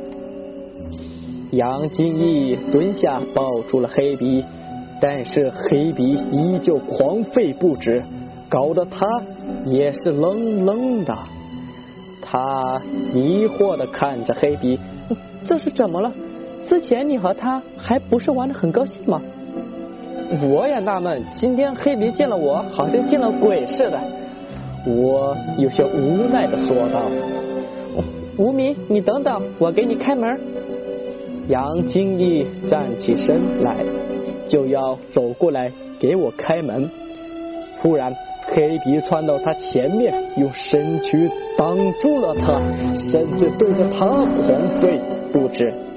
杨金一一脸莫名其妙，他脸色难看的说道：“黑鼻，你到底怎么了？你别这样，再这样无理，我可要生气了。”他绕开黑鼻，准备伸手开门，突然，黑鼻一张嘴，紧紧咬住杨金义的碎花布鞋，死死不松口，还一直往后拽。就是要阻止他开门，嗯，这是怎么了？杨金一脸色大变，今天的黑鼻太反常了，我也彻底愣懵了，抬头看着爷爷，爷爷也在愣愣的看着黑皮，或许他也没看清黑皮到底是想表达什么。我拉了拉爷爷的衣角，朝着爷爷微微皱眉，表示他算了。看黑鼻的意思，肯定是知道我们是来领他的，他不愿意跟我们走，才如此反抗。爷爷叹了口气，罢了罢了，娃儿，我们回去吧。这狗真有灵性，只是在杨家人手里不能发挥它的作用。糟蹋了！爷爷拉着我离，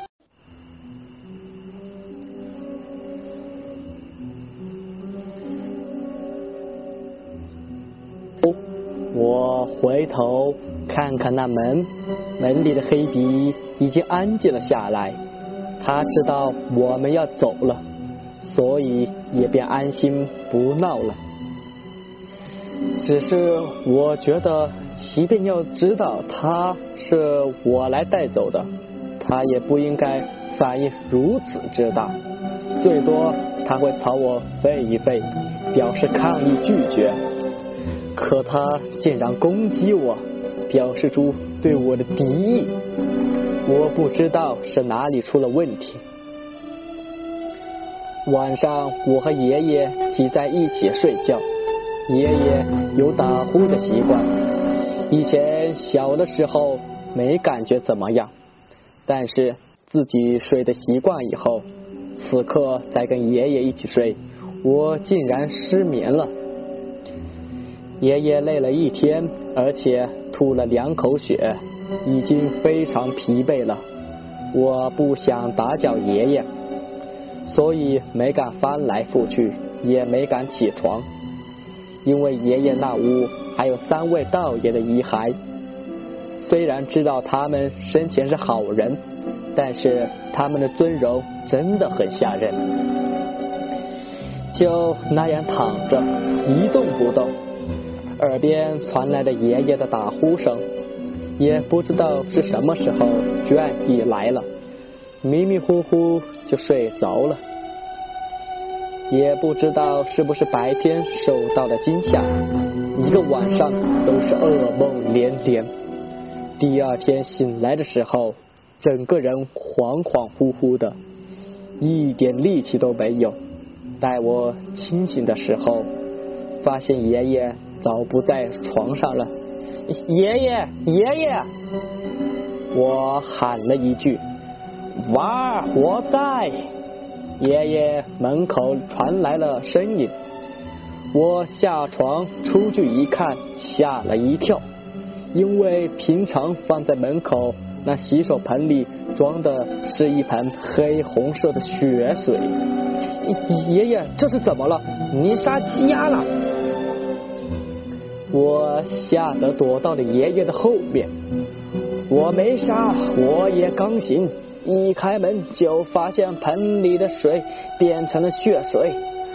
爷爷皱眉的说道，他蹲下闻了一闻，瞬间脸色大变，是人血！我一下竟然是人血！爷爷说神仙，绝对不错。可是这么一大盆血水，到底是怎么回事？是谁的血？不远处，一个人朝着我们跑来，边走还边招手喊：“秀才说出大事了，您赶紧去看看吧！”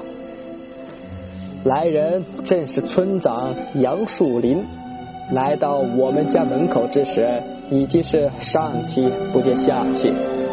他吞了两口口水，说道：“吴老转死了，死在了后山的山洞里。”我脑袋嗡了一声，愣愣的看着那盆血水，怎么回事？爷爷瞪大双眼问道。不知道这一大早上，村里的刘老太太就去找我说，她一早上进山捡柴火，路过那个山洞的石线，发现有血迹，她便大着胆进去一看，差点没吓死。吴老转背靠着岩壁，已经死透了，胸口一个大洞，血淋淋的，好像被什么猛兽给掏的心。杨树林说完，低头看了盆血水，便出言问道：“叔，您家杀鸡了？”爷爷没有回答他，他说道：“带我去看看。”我见爷爷的眉头都皱成了疙瘩，心里有种不好的预感。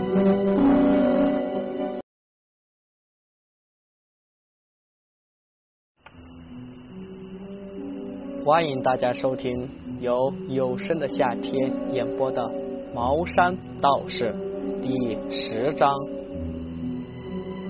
我怀着恐惧和忐忑的心情跟在爷爷的后面，在村长杨树林的带领之下，往后山的山洞而去。据说那个山洞是小日本的时候游击队建立的秘密根据地。前我和小伙伴也有去过那里好几次，那是自然形成的山洞，在一块大石头的底下，入口还是很隐秘的。是在一些藤蔓之后，之前你们觉得很危险，怎么无脑转就死在里面了呢？到达山口的时候，洞口已经围满了人。又是那一些好事的仙气，但是他们很胆小，都远远的躲着，没人敢进去。一见村长带我们来了，便自觉的让开了一条道路。我能感觉到他们身上的恐惧、害怕，有种人人自危的感觉，但是又都很好奇，不愿离去。我跟着爷爷进了山洞，村长也没敢进去，他留在了洞口。听说刚才二狗进去看了一眼，到现在还在作呕，之后都没人敢进去了。一进山洞，一股浓浓的血腥味扑鼻而来，而我立马捏住了鼻子。我跟在爷爷的后面。到快到吴老转的身边，只扫了一眼，我也差点吐了。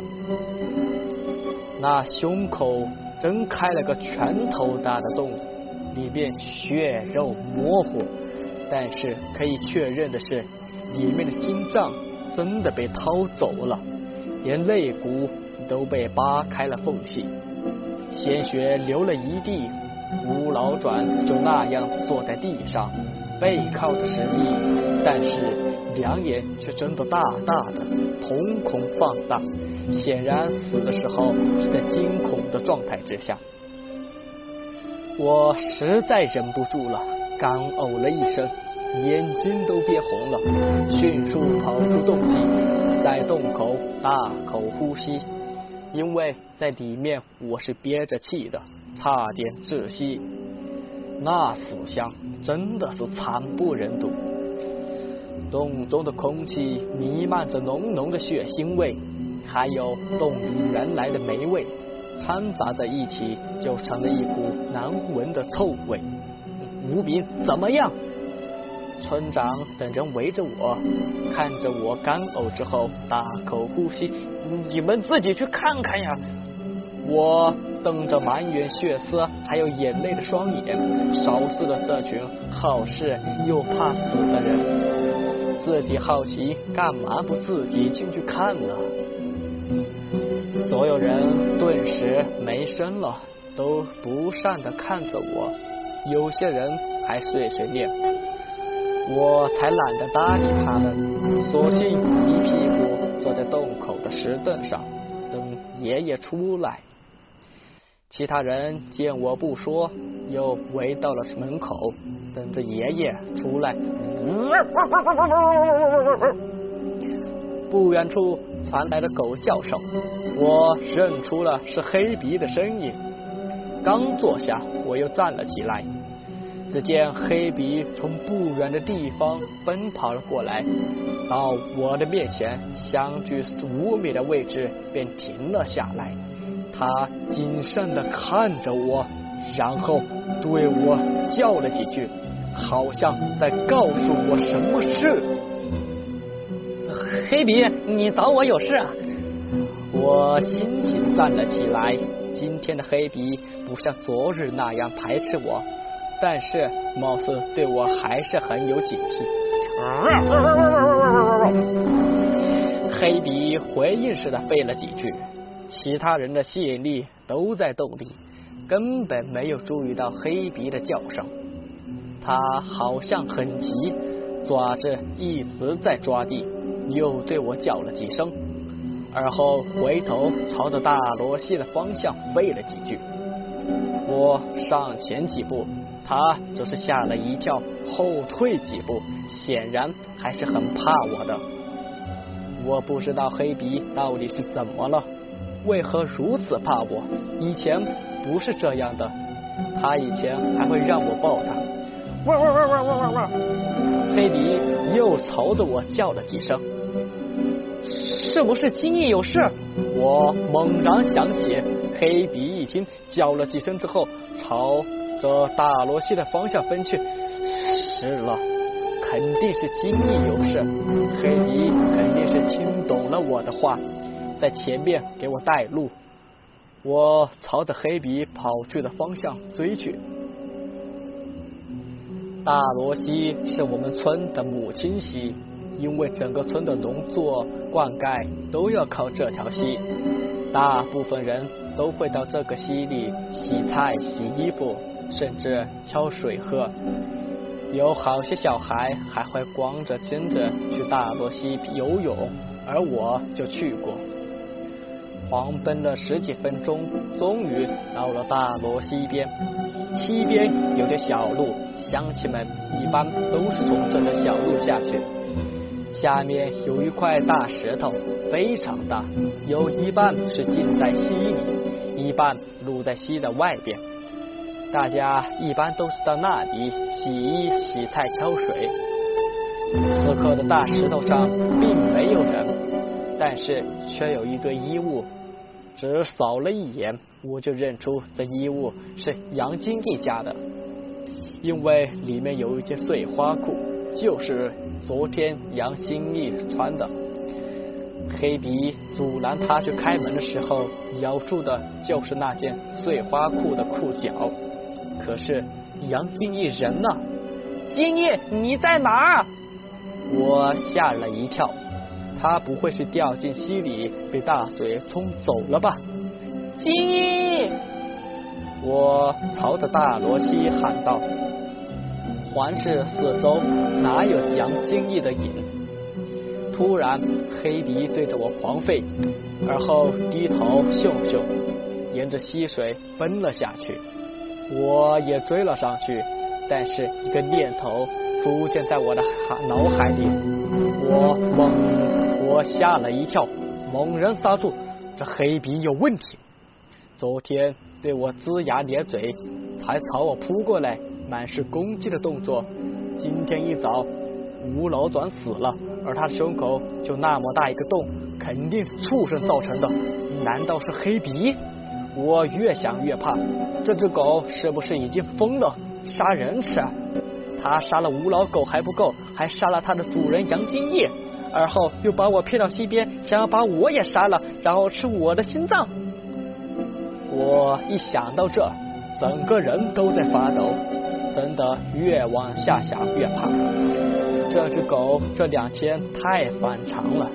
如果真是他干的，吴老转那么一代成年人，四十多岁的壮汉都能把他杀了，我才二，我才十三岁，怎么打得过他？我不敢往前走了，爷爷不在身边。我回头想跑回去，突然我想到了杨金义，但是杨金义该怎么办？我内心想到，犹豫了。杨金义是我最好的朋友，此刻出事了，我不能不管。正当我犹豫不决的时候，下游不远处传来了黑鼻的狂吠声，一声高过一声：“救命啊！救命啊！”我往前走了两步，依稀听到有人在求救。黑皮，赶紧去喊人来救我！快呀，救命啊！是金义的声音，我一个机灵，在细听之后，断定是杨金义在求救，便也没有多想，朝着下游冲了过去。远远的看见黑鼻对着溪水狂吠，随着黑鼻的狂吠方向，只见杨金义的半截身子已经没入了溪里。只是双手紧紧的抱住一块石头。无名，救我！杨金义一见我，如同见了救星一般，歇斯底里的向我喊叫，那声音凄厉，让人听了毛骨悚然。显然是见到了什么可怕的东西，受到惊吓而从心里发出的嘶吼。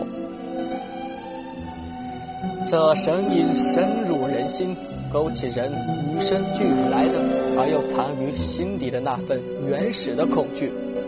我惊呆了，没有多想，我朝着杨金义冲了过去。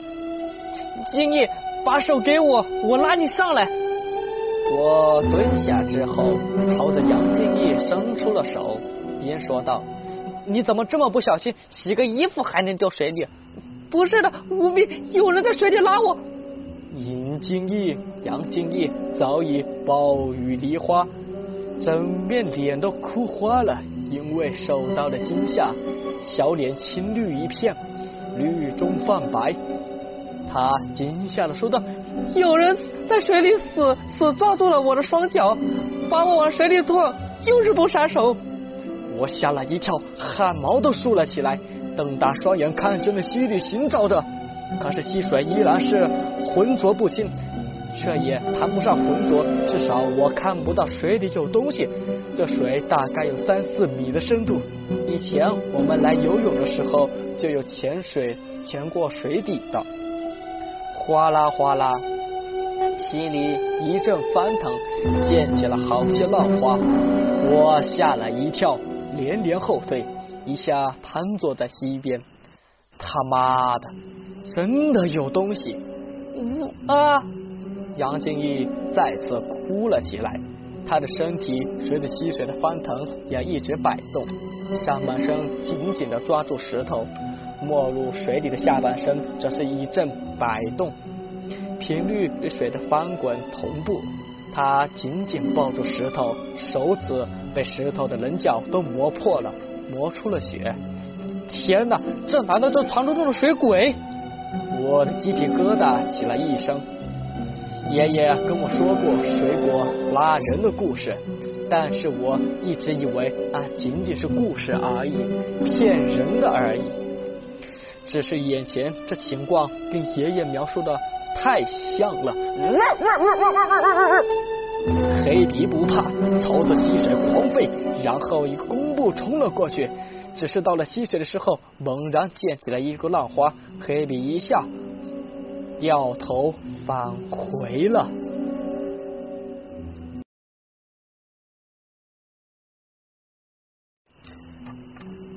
欢迎收听由有声的夏天演播的《茅山道士》第十一章。我站了起来，黑迪貌似能看见那东西，能锁定那东西的方位。我记得爷爷说过，这东西一上岸就没力，但是在水下力大无比。只是要拉它上岸，那就是妄想。最关键，我看不见它，即便看见了，我也没办法对付它。爷爷又不在我的身边，我要是折回去喊爷爷来的话，估计杨金义早已被拉下水了。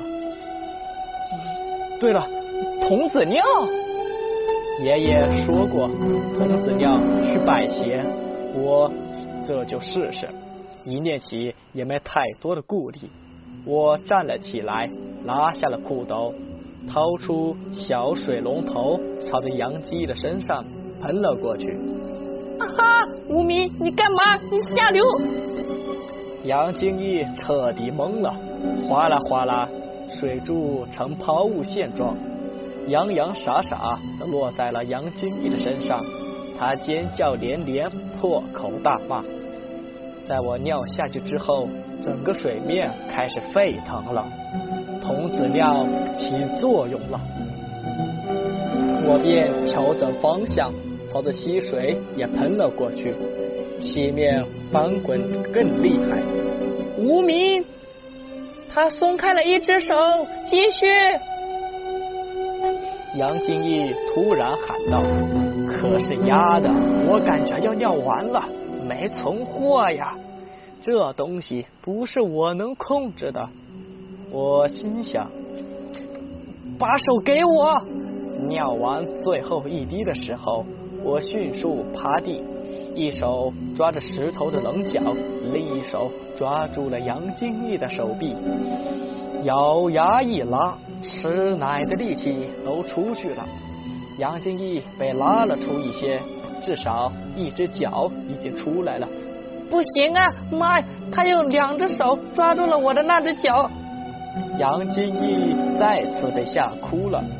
那东西的两只手都抓住了他的右脚。我紧紧的抓住他，好不容易拉出来的人，怎么可能轻易放弃？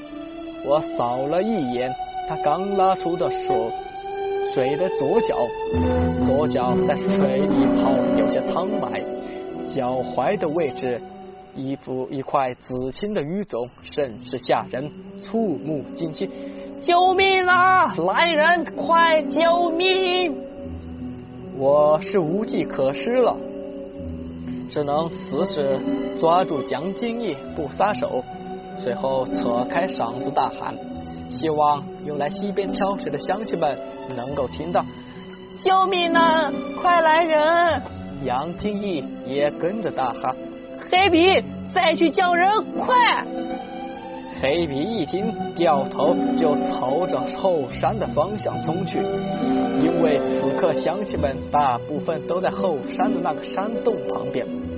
我边喊边想：后山山洞的牢无老转，不会是水下的这个东西弄死的吧？黑皮刚才的表现已经排除了嫌疑，他忠心护主，应该不是他。正在这时，整个大罗溪的西面开始翻腾，我他妈傻眼了！难道不止一只，而是一群？他娘的！水鬼的大部队来了吗？完了，我有些绝望的心想。怎么了？杨金义全身颤抖的问道。他瞪大双眼看着我，双手紧紧的抓住我的手，我的手都麻了，而且有些刺痛感。我能感觉到杨金义的十个指甲深深的抠进了我的手臂。你看江面翻腾，估计不止一只，而是来了一窝啊！我也开始打颤了。无名救我，别放手，我求你了！越是面临死亡，人的求生欲望越强。此刻，我已经成了杨金义的最后一根救命稻草。他泪眼汪汪的望着我，不用求，我是不会放手的，你放心，我会陪着你的。我对杨金义挤出了微笑，以示安慰。我俩死死的盯着那翻腾的水面，水面起了好大的漩涡，水里好像有很多东西。我俩的身子一阵阵的打颤着，嘴唇也抖，牙齿则是咯咯的打响。松手了！快拉住我！快拉着我！杨金义喊道。我先是一愣，马上又反应了过来。出尽全力将杨金义拉了回来，我拉着他往西岸上跑去，几次跌倒，几次爬了起来，跌跌撞撞落荒而逃。刚跑出几步，背后出现滋滋滋的声音，那是猴的声音。我们同时转身，瘫坐在地上。看向那翻滚的水面，只见水底一块大石头慢慢的浮出了水面，越来越大，直径起码四五米。哗啦一声，一个事物被从水底抛出了水面，水花翻翻讲讲，在水花当中，我们终于看清了那个东西。那就是几个几乎透明的人形，介于人与猴之间的体型，完全是全身透明，唯有心脏的颜色是绿色的，而且还在扑通扑通的跳着。呼啦一声，又有一物跳出水面，我定睛一看，一条大蛇。我和杨金义大惊失色，惊呼不已。但定睛一看，我猛然收身，按住了杨金义。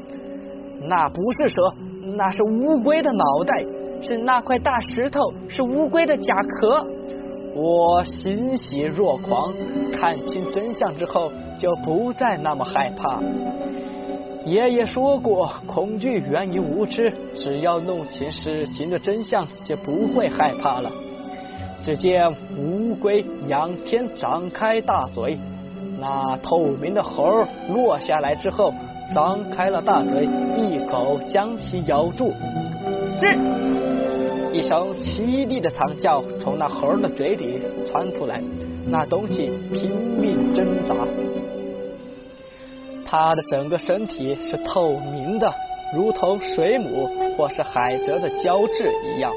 修长的手臂和脚，还有一条尾巴，手指、脚趾都有长长的指甲。那指甲触目惊心，如同一把把的匕首。巨龟咬住了它，在水里猛然撕咬，水里一阵阵的翻滚。我知道它亡了，巨龟似乎是它的天敌。撕扯了几下之后，它彻底不动弹了。巨龟扬起脖，一口将其吞下。我和杨金义彻底傻眼了。巨沟巨龟一口咽下那东西，然后转向看着我们，那眼睛就有昨天装死孩的那个痰的大小。他竟然会笑，他在朝着我们笑。我和杨金义对视了一眼，简直不敢相信乌龟居然会笑。我扫了巨龟一眼，龟背上的东西吸引了我们，那便是链锁。靠近我们的方向，龟甲的边缘竟有两个孔，每个孔上竟有足足一米长的链锁。那个链锁有我手臂粗细。难道我猛然想起，这只就是那只井底的那只灵龟？是了，肯定是。我越想越肯定，那只就是灵龟。金一、无名，你们在哪儿？上游传来的呐喊声，爷爷他们来了。我听到了爷爷的声音。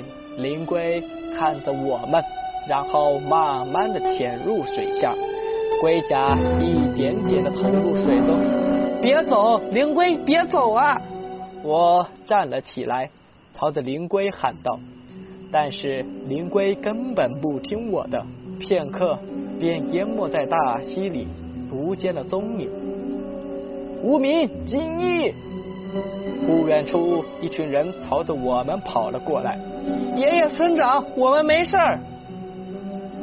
我朝着他们喊道。我转头向瘫坐在地上的金翼看去，他整个人狼狈不堪，气息非常的微弱。他愣愣的看着我，我都不敢看他的脚，血肉模糊。右脚的脚踝骨头已经露了出来，我扶着他说道：“没事吧？”他摇了摇头，然后哇的一声哭了出来，一把抱住了我，紧紧的抱住了我。我知道他那是惊吓过度，彻底的宣泄了出来，但是时机不对呀！呀的一群人围了过来，最关键他的父亲杨树林也在其中。魏，无名，你在干嘛？村长厉声呵斥道，一把将我拉开。我没干嘛，我只是想扶他。我赶忙解释道：“金叶，你是怎么了？”杨树林一把抱住他，看了他的脚之后，脸都绿了，大惊失色，心疼的要死。但是金毅一直哭，就是不说话。丫的，所有人都看着我，妈逼呀！他不开口，大家都以为我欺负他了。不是啊，爷爷，我们碰到了水猴。我赶忙看向爷爷，跟爷爷说道：“什么？”爷爷吓了一跳，在哪儿？金毅在上面洗衣服，被水猴拉了下来。刚才你们在山洞的时候，黑皮去找人求救，我就跑过来救他。他双脚是被水猴抓的。我指着金毅的双脚，急促的说道，生怕人们认为是我欺负了金毅。众人见到金毅的那双脚，脸都扭曲了，连骨头都露了出来。那水猴在哪儿？爷爷警戒的问道。被你放走的那只巨龟给吃了。我解释道，但是爷爷还是有点不明白，我便补充道：“您在谷底，谷您在谷底用那个锯子锯开的链锁放走的那只灵龟，您记得吗？”哦，爷爷松了一口气，恍然大悟：“你们在说什么？我怎么听不懂？”杨树林一脸惊讶的问道：“先别说了，先救治你的女儿要紧。”爷爷提醒道：“嗯，对对对。”杨树林抱起杨金义，一群人便往村里走去。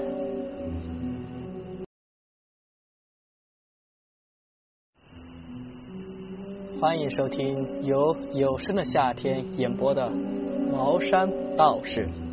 第十二章，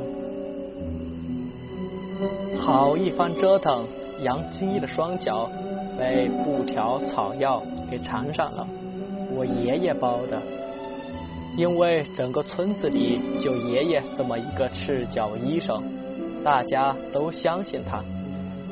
对于治病救人，爷爷也从来没有推辞过。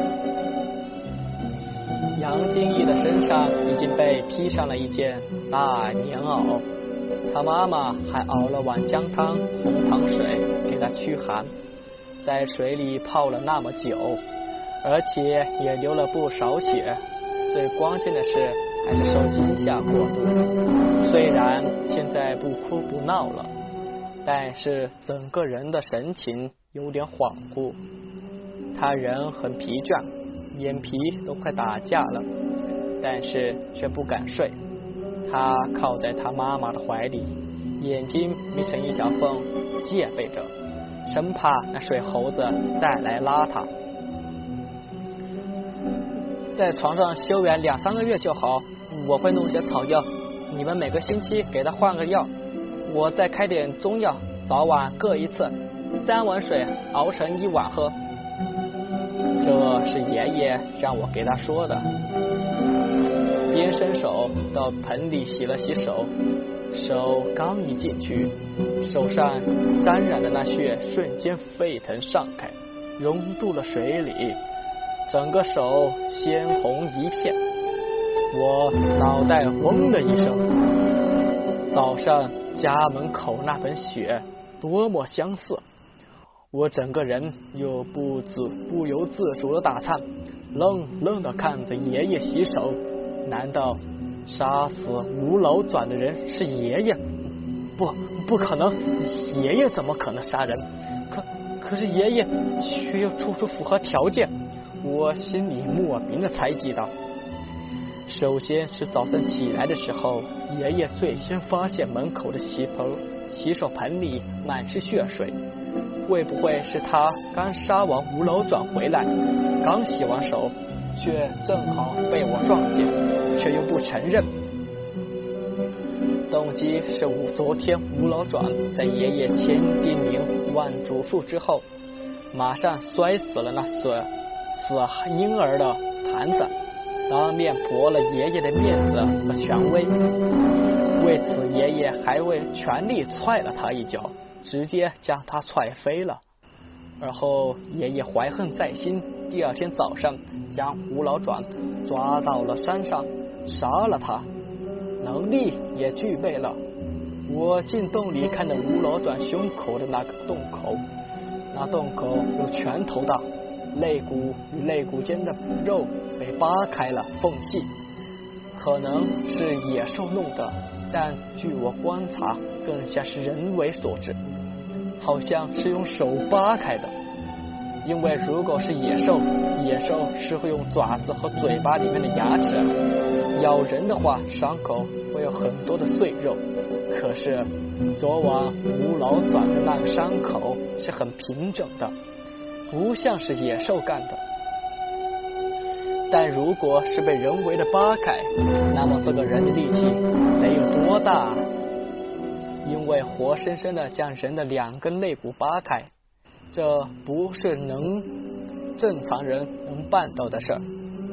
杀猪匠在剔除猪肋骨的时候还得用刀的，何况是常人？当人们纵观全村，能有如此力气能办到事的人，唯有我爷爷一人。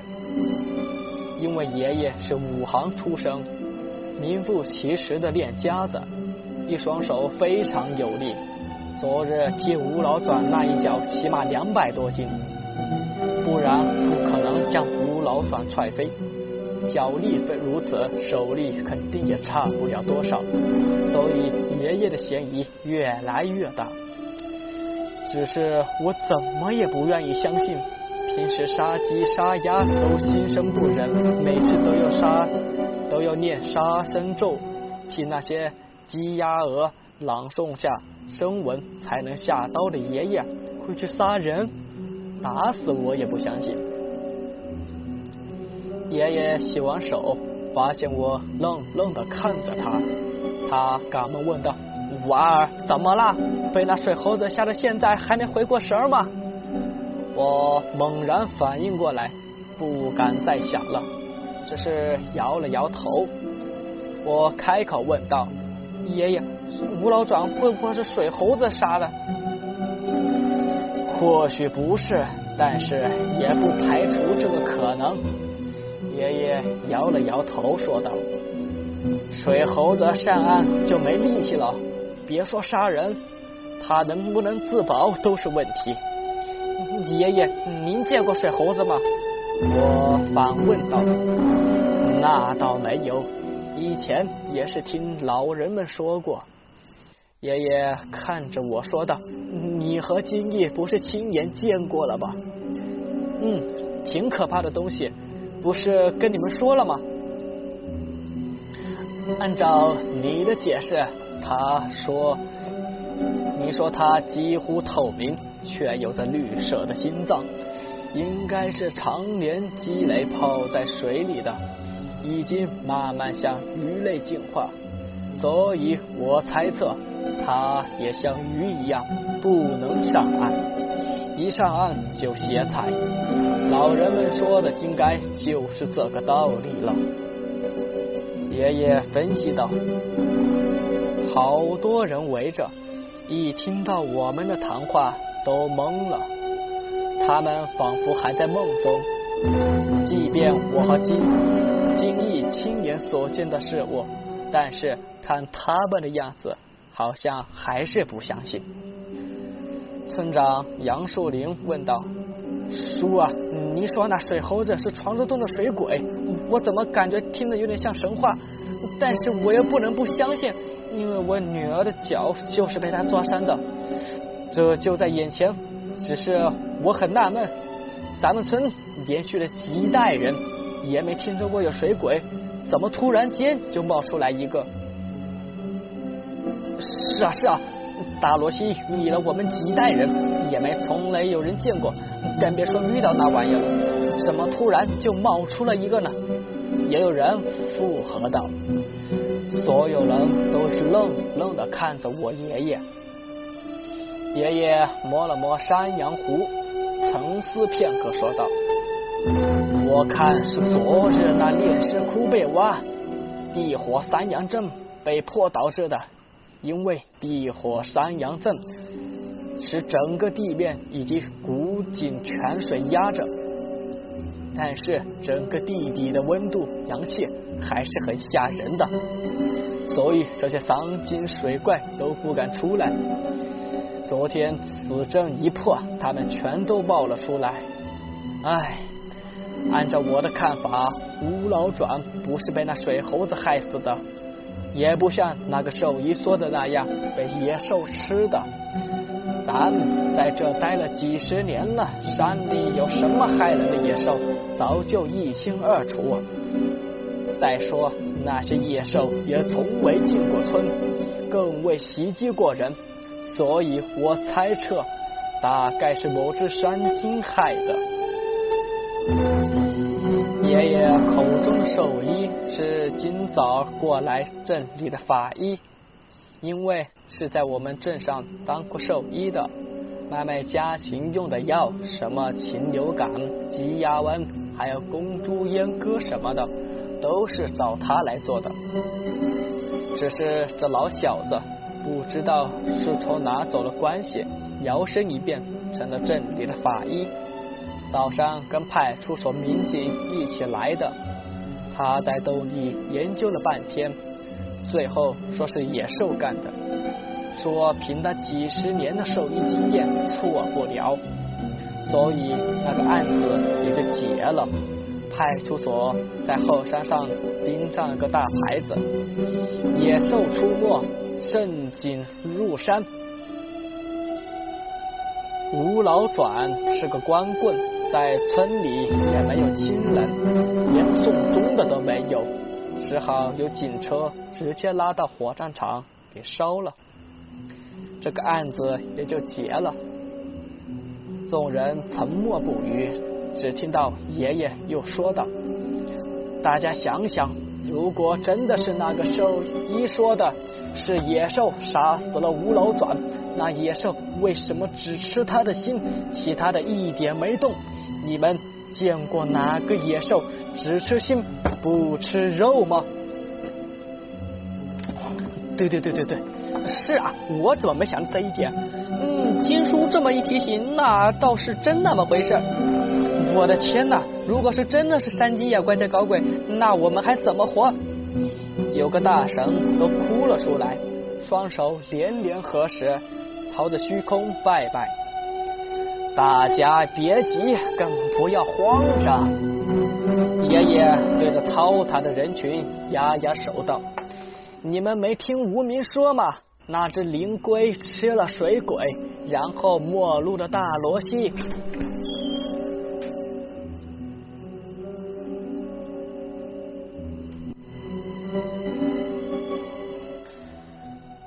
这灵龟是专门来救金翼的，所以我想他会继续守护着咱们的村子，山精水怪都不用怕。是了是了，是灵龟灵龟！众人连连点头，豁然开朗。有灵龟守护着村子，他们还怕什么？乡亲们，这灵龟几百岁了，按照算法算得上龟仙了。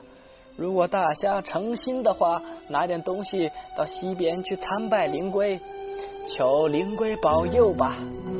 村长顿的顿时组织道：“好，大家各自回去准备贡品，下午到大罗溪集合参拜龟仙。”有人大手一挥，大伙瞬间散了，大家都散了。屋里只剩杨树林一家三口，还有我跟爷爷。我怎么觉得爷爷有点要洗脱的嫌疑？他把凶手推到三金的头上，那谁能查得出来？只是我还是不相信爷爷是凶手，虽然种种迹象都指向了爷爷。娃儿发什么愣呢？咱们也回去了。爷爷拉了拉我的手，转头扫了一家杨家三人，便出门朝家里走去。爷爷在前面走，我在后面跟着，看着爷爷伟岸却有些驼背的身躯，我的心里一直反问：爷爷吴老钱是不是您杀的？这个问题我很想问他。但是话的几次到了嘴边，又几次咽了回去，因为我实在问不出口。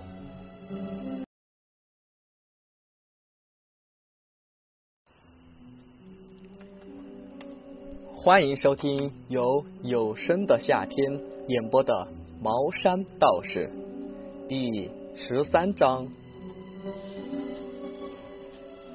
娃儿，你怎么了？我看你整个人都心不在焉的，想啥呢？回家后，我一个人静静的坐在门口，看着那个铝制的洗手盆。此刻盆里装的是清水，早上那盆血水早已被爷爷倒入了臭水沟。嗯，没事。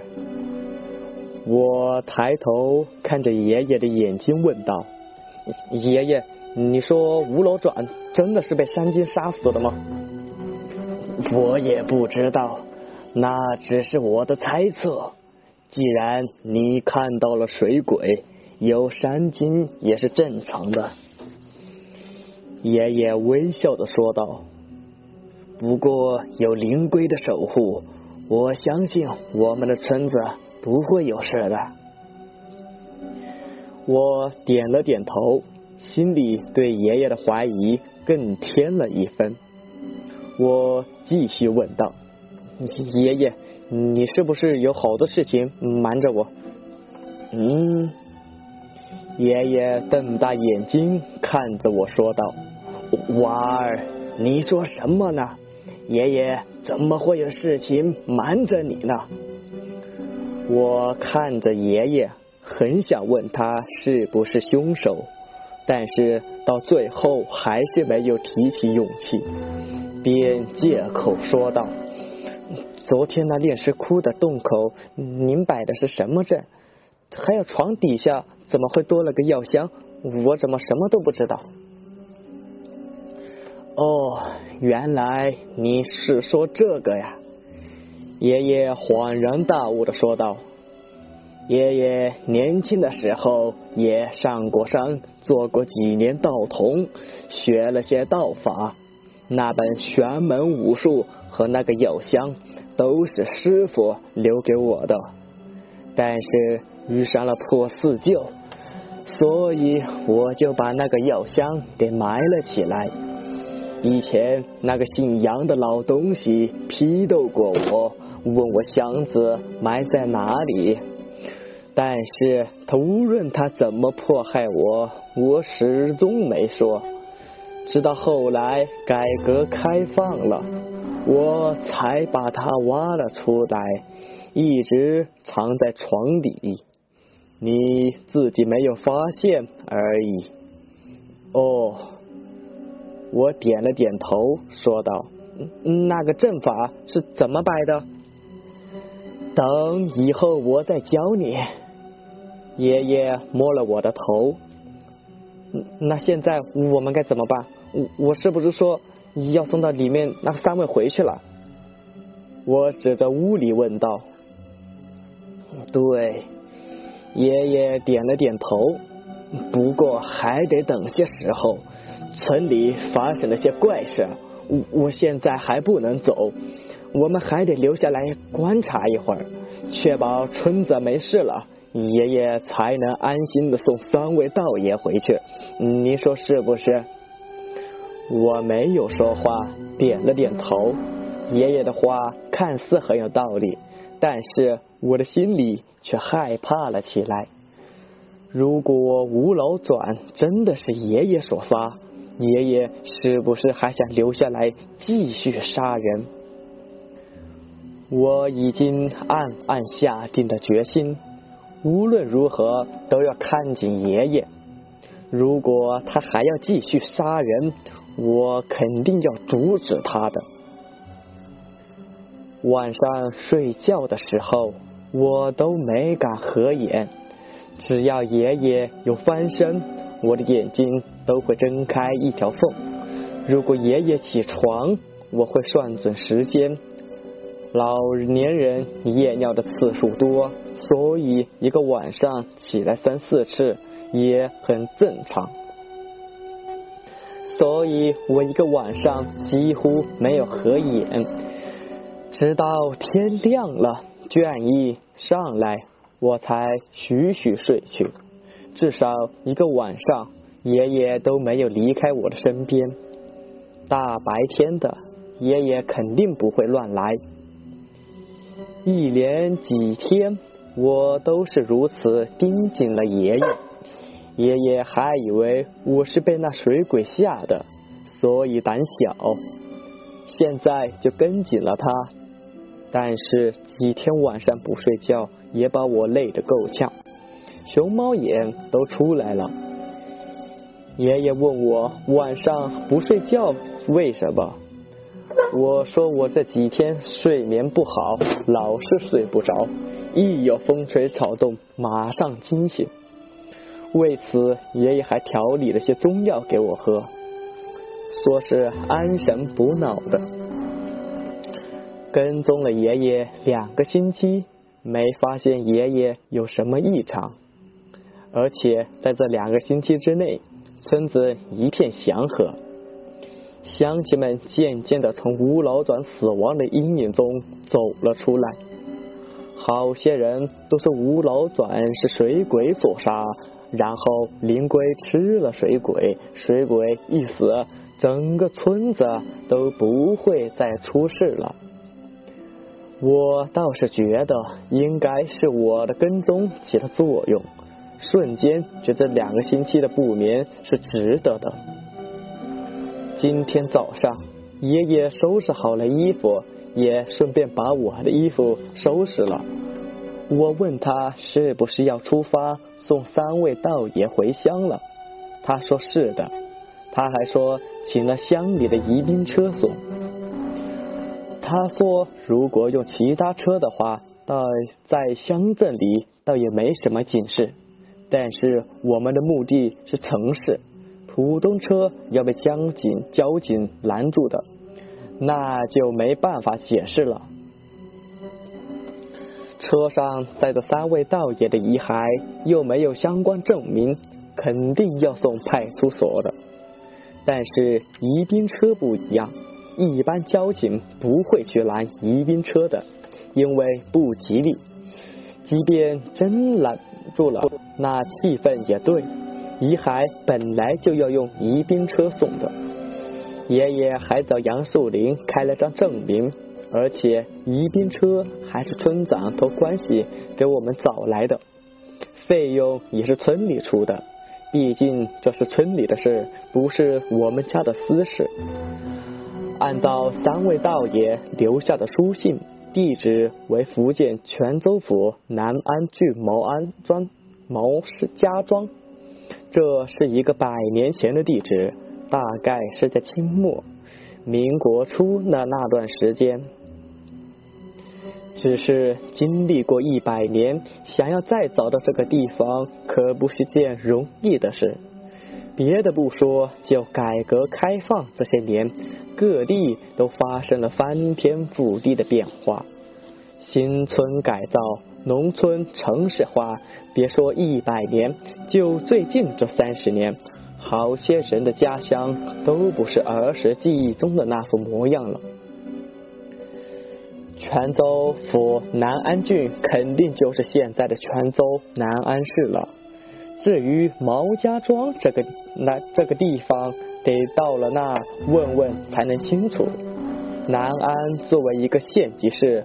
说大不大，说小也不小，爷爷也只能抱着试试去的态度，不管最后有没有找到，至少我们尽力了。我们在这个地方离南安市大概是十七个小时的路程，这是开殡仪车的那个司机说的。至于在南安的哪个乡镇，还得去找。南安的南北狭长，从南到北开车还得四五个小时。殡仪车停在了春之部前的水泥广场上，我背着行李袋，里面装着我和爷爷换洗的衣服，爷爷则是背着他的那个药箱，他则是抱着两位道爷的遗骸。我则是抱着剩下的一个，我们将三位道爷抱上车。三位道爷此刻已经被披上了白色的校服，而且包裹得严严实实，就如同死者的家属一般。这样做也是为了避免引起不必要的麻烦。在乡亲们的目送之下，我与爷爷上了殡仪车。上去之后，我就感觉背后一凉，浑身凉飕飕的，全身的汗毛都竖了起来。也不知道是什么原因，觉得浑身很难受。不知是不是心理作用，觉得这车不知道接送了多少死者。所以心里发毛。我警戒的扫了一眼整个车子，这大白天的阳光竟然无法照进车里，而且整个车子阴凉无比。我有些害怕的看着爷爷，娃儿是不是觉得冷？如果冷，就把包里的衣服拿出来一件穿上。我把军大衣也带来了。晚上你睡觉的时候也好盖上。爷爷指了一旁的背包说道：“嗯嗯，那爷爷你呢？晚上没有盖被子会着凉的。”“不会，晚上睡觉的时候把车窗关上会很暖和的。再说爷爷的身体好着呢。”爷爷微笑着说道。嗯，爷爷，我怎么感觉这车里好冰冷，感觉开了个冷气似的。我压低声音对爷爷说道，不敢让那个司机听到，因为这是灵车，长年累月的接送遗体，几乎一到三百六十五天都在接送，甚至有时候一天接送好几趟，而遗体散发出来的阴气。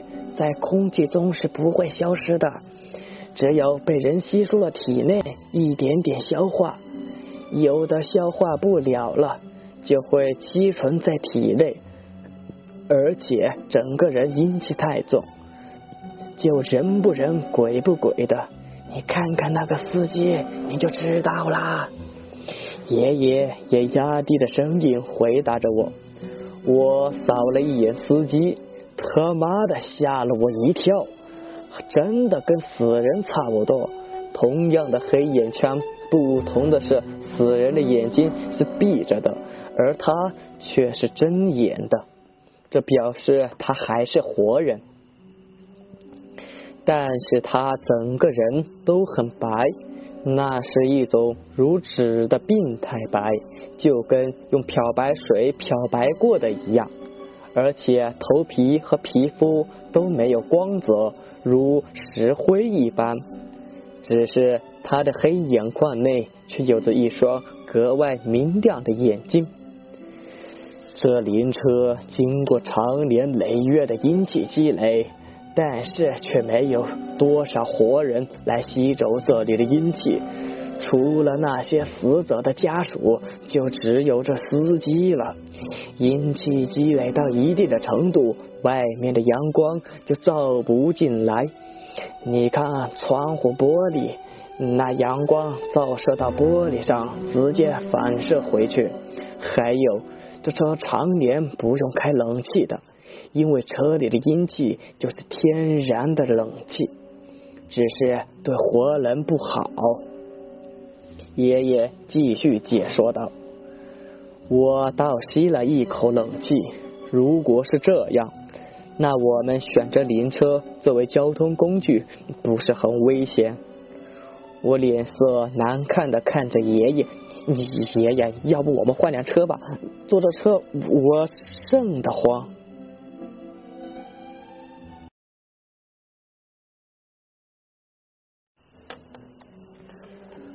欢迎收听由有声的夏天演播的《茅山道士》第十四章。想换车，那就换喽。还没等爷爷回答，坐在驾驶位上的司机竟然开口了，把我和爷爷吓了一跳。丫的，他坐在车头，我和爷爷坐在车尾。用蚊子一般大小的声音嗡嗡交谈，他竟然能听到。我与爷爷睁大双眼对视了一眼。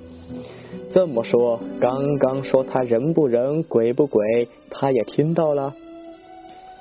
爷爷先反应过来，挤出笑容，说道：“司机师傅，不好意思，童言无忌呀，小孩子可能抵抗力差。”而且胆小，所以对你的车子可能有点不适应，才乱说的。您别在意啊。说话的时候，爷爷拿出了一包红双喜双烟，递给了司机一根，然后自己也点了一根。这烟还是杨树林为感谢我们爷孙救了他女儿相送的，足足送了一条。要不然，爷爷才不会买这么贵的烟。司机倒也爽快的接过了烟，然后啪嗒的点了起来。他深深的吸了一口，吐着烟雾说道：“你们村里村长、镇里的领导啊，拜托了我，否则你们还真找不来车。”乡镇里只有两部灵车，这一部被你们借走，那么另一部的工作压力那可就大了。我跟你们说啊，平常的车没有人会接你们这单事儿，也只有我们才敢干这事儿。是是是是，爷爷陪着笑说道。他也知道这司机说的都是真话，而且这一路上还得赞扬着司机。所以爷爷很客气。我一个人开车到了安南，这属于长途了，强度很大的。司机挤眉弄眼的继续说道：“哦，明白，这爷你留在路上抽提提神儿。”爷爷干脆把那包刚开的红双喜全递给了司机。那就多谢了，老爷子。司机也没有客气，微笑着接了过去。开车疲劳的时候，的确需要抽烟提神。接过烟后，司机也便打开了话匣子。他转头看向我，我一见他的脸，也吓了一跳。他看着我说道：“小孩子的抵抗能力差，这还真的得多加件衣服的。”呃，老爷子，您刚才说那些话，也表明您对这行还是懂一些的，所以我还是简单的跟你们提醒几点。呃，您说，您说。爷爷打起了精神，将香烟夹在右手食指与中指中间，聚精会神的看着司机。银器对平常人是有危害的，没错。但是对于我们从事这个行业的人来说，从另一外方面也是好事。就像您说的，我身体里堆积的阴气太重，阴气也叫做死气，所以我看上去像个死人。而我们开灵车的，经常碰的那种东西，也有了阴气的保护，那些东西以为我跟他们是同类，所以也都没注意到我们，更不会伤害我们。司机继续吐着烟雾说道：“原来如此。”爷爷倒吸了一口冷气。他只知道阴气对人不好，没想到竟然还能被人利用。啊，是啊，从事这行的阴气都重，特别是殡仪馆里的那些同事，还有医院太平间里的那些医生护士啊。也都是用阴气保护着自己，不然后果那可真的是不堪设想。司机继续说道：“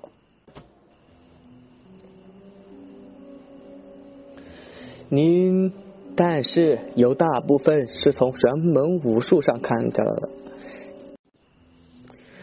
我他妈一个高才初中生，学习的是科学。要不是碰到死因这事儿，我根本就不相信有鬼。但是现在我的观念彻底被颠覆了。嗯，经常看到，但是大部分的都没有想象的那么可怕。嗯，其实大部分也是挺可怜的。司机吐着烟圈，淡淡的说道：“大部分都是那些死者。”是人都不想死的吧？但他们看到自己的躯体被运上灵车，准备去烧掉的时候，各种挣扎，那种哀嚎，各种无助，叫人看了那都心碎。有的是年纪轻轻就遇到了车祸，有的家里还有老有有小要养，放心不下的；有的则是被害死的，心里千万种不甘的。但是不管如何挣扎，最后的结果都一样，那便是拒之于一副，烧成骨灰了。司机继续说道：“嗯，刚开始的时候嘛，我们也是各种困难，各种不忍心的看着他们。但是到后来见多了，也就那样。家家都有本难念的经嘛，该怎么样还是怎么样的，命里注定好的都是。”我替他们难过，那也没用，因为我们帮不了他们，所以后来我们得都装作没看见。我只负责开我的车。爷爷沉默的点了点头，不仅他能理解，我也能明白。既然帮不了，那就装作没看见。不是不想帮，而是没有那个能力。如果明知不可为而为之，那可能引起更糟糕的结果。所以我想告诉你们，如果在车上看见了什么东西，都要装作没看见，知道吗？你们该睡觉该睡觉，该干嘛该干嘛，视而不见就行了，千万别装作能看见他们的样子。司机告诫道：“好的，我们知道了。”我和爷爷同时点头答应。那司机看着我，从口袋里掏出一把糖果，递给我说道：“嗯，这糖果是我们公司发的，阴气对我们是有帮助的不假，但是如果过量了，身体也是会承受不起的嘛。所以公司会有人做一些这种糖果，但是这不是普通的糖果，这种糖果含在嘴里，不仅可以清新口气，还能提神，最关键还是能吸收掉阴气。既然你们给我烟抽了，嗯，那么这些糖果你们也拿去含在嘴里。小孩子抵抗能力差，你用得着的。五二还愣着干嘛？还不谢谢叔叔？爷爷喜出望外，对着呆呆的我说道。我立马反应过来，走过去接过了糖果。谢谢叔叔。我对着司机点头说道。爷爷也欢喜的看着我。一开始见司机的模样，着实被吓到，没想到他人还挺不错的。爷爷一直叫我不要以貌取人，果然是有道理的。爷爷还告诫我说，要真诚待人。今日碰到这司机，果然给我上了一课。你怎么样对人家，人家就怎么样对你。爷爷送了他一包烟，他就投桃报李，送了我糖果，还告诫我们这些注意的事项。我剥开一颗，递给了爷爷。爷爷不吃，说他正抽着烟呢。我便一口含了进去，很甜，有薄荷和奶油的味道，真的很好吃。司机抬起左手看了下手表，说道：“及及时到了，嗯，那咱们就出发吧。”好的。管没管用，那就是另一回事了。至少我们都照办了，也图个安心嘛。这是上一任前辈告诉我的。司机乐呵呵的说道：“啊，是这个道理，没错。”爷爷也点了点头，颇为赞同的说法。就好似这次送三位道爷回去，能不能找到他们家人是另外一回事，至少我们有去做了。有去努力了，图个安心。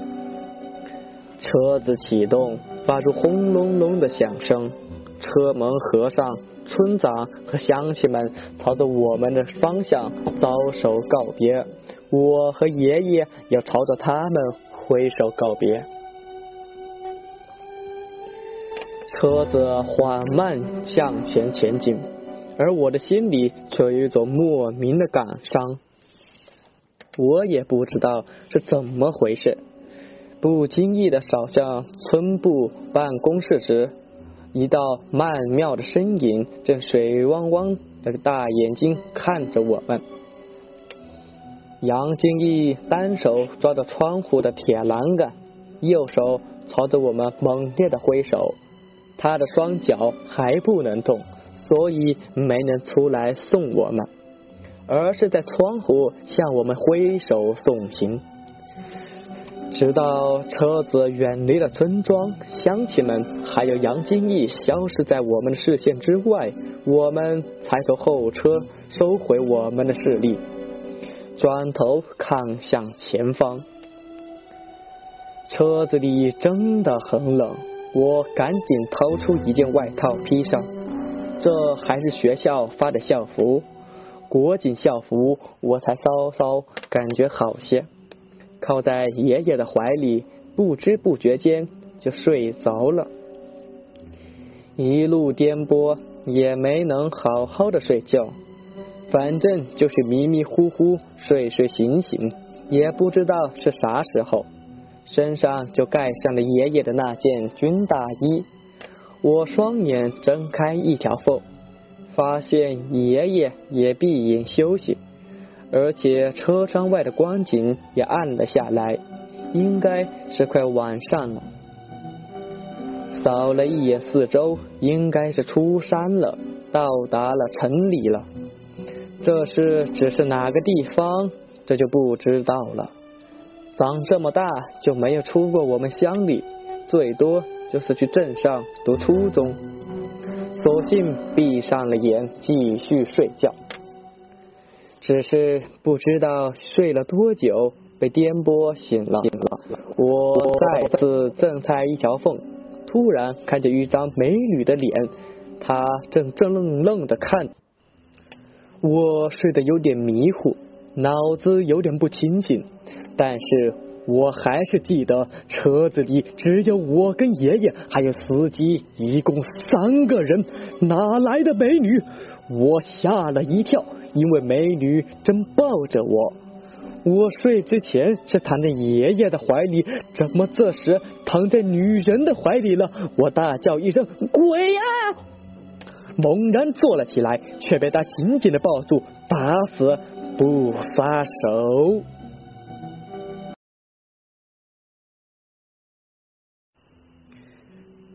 欢迎收听由有声的夏天演播的《茅山道士》第十五章。鬼啊！我拼命挣扎，歇斯底里的呐喊。但是却死活挣脱不开，被活活的抱住。娃儿，你怎么了？娃儿，你镇定点，我是你爷爷呀！抱住我的那个人大声的呵斥道，声音盖过了我的呐喊声。我一听声音是爷爷，猛然转头，发现抱住我的正是爷爷。我猛然向四周望去。整辆殡仪车空空如也，除了爷爷和我，还有就是司机。司机正从后视镜看着我们，他微微的笑道：“你这孙子估计是做噩梦了，小孩子抵抗能力真差，八成是吸入的阴气过量，快点含一颗糖吸吸阴气吧，没事的啊。”他妈的，竟然是噩梦，吓死老子了！我用袖子抹了一把额头上的汗水，爷爷也拿出手帕帮我擦了一番。我一屁股坐下，大口大口的喘息。爷爷递过一锅糖果给我，我赶紧含住，整个人才稍稍的安静下来。也许是我想多了，日有所思，夜有所梦。估计是听了他们说灵车阴气的事，还说经常看见那种东西，所以心里才害怕，才会做这样的噩梦。可是这个梦却是如此的真实。娃儿，你可能太累了，过这一阵子你都心神不宁，睡眠也不好，是不是之前受到的惊吓还没好？爷爷关切的问道：“我抬头看着爷爷，或许是我胡思乱想。爷爷这么和蔼可亲，怎么会是杀人犯？我真想抽自己一耳巴掌！不仅冤枉了爷爷，还害得自己严重睡眠不足，精神恍惚。此刻做噩梦，多半就是两个星期半夜起来跟踪爷爷。”都没睡好的缘故，嗯，没事，我好很多了。我感觉有些内疚，我抬头问向爷爷：“爷爷，我们这是到哪了？我们走了多久？”这好像是到了福建境内吧，我也不知道啊。爷爷看着窗外说道：“他也不确定。”对的，我们就是到达了福建境内。司机看着后视镜里说道：“我们走了十个小时，还有七个小时就到泉州南安了啊！”司机师傅，要不我们找个地方停下来休息一下，吃下饭吧？你看你也累了，我们也想上上厕所。话说的同时，史爷爷又拿出了一包红双喜，递给了司机。好的，谢谢啊。哎，够意思。司机微笑的接了过去。开车还需要抽烟的，白天那包已经抽完了。一会儿下车我也去买一包条。嗯，不用不用，我包里还有，你抽完了找我拿就是了。爷爷笑着说道：“哎呀，那怎么能老是抽您的呢？哎呦，那多不好意思啊！司机小伙笑笑的说道：“嗯，前面有个加油站，嗯，那我们就到那里休息一下吧。车子刚好也需要加油了。”啊，好的，您安排就是。十分钟之后，我们在加油站下了车。刚一下车，我就精神一振。车外的空气非常好，至少没有那种无形的压力。我也才敢大口的呼吸，整个人顿时觉得很轻松。望了一眼，哇，不远处正在加油的灵车，我心里又对他加深了一分恐惧，着实太可怕了。这车里车外的差异。竟然能够感觉到如此明显。在加油站吃完饭后，我们在外面坐了一会儿，之后便又回到了灵车之上。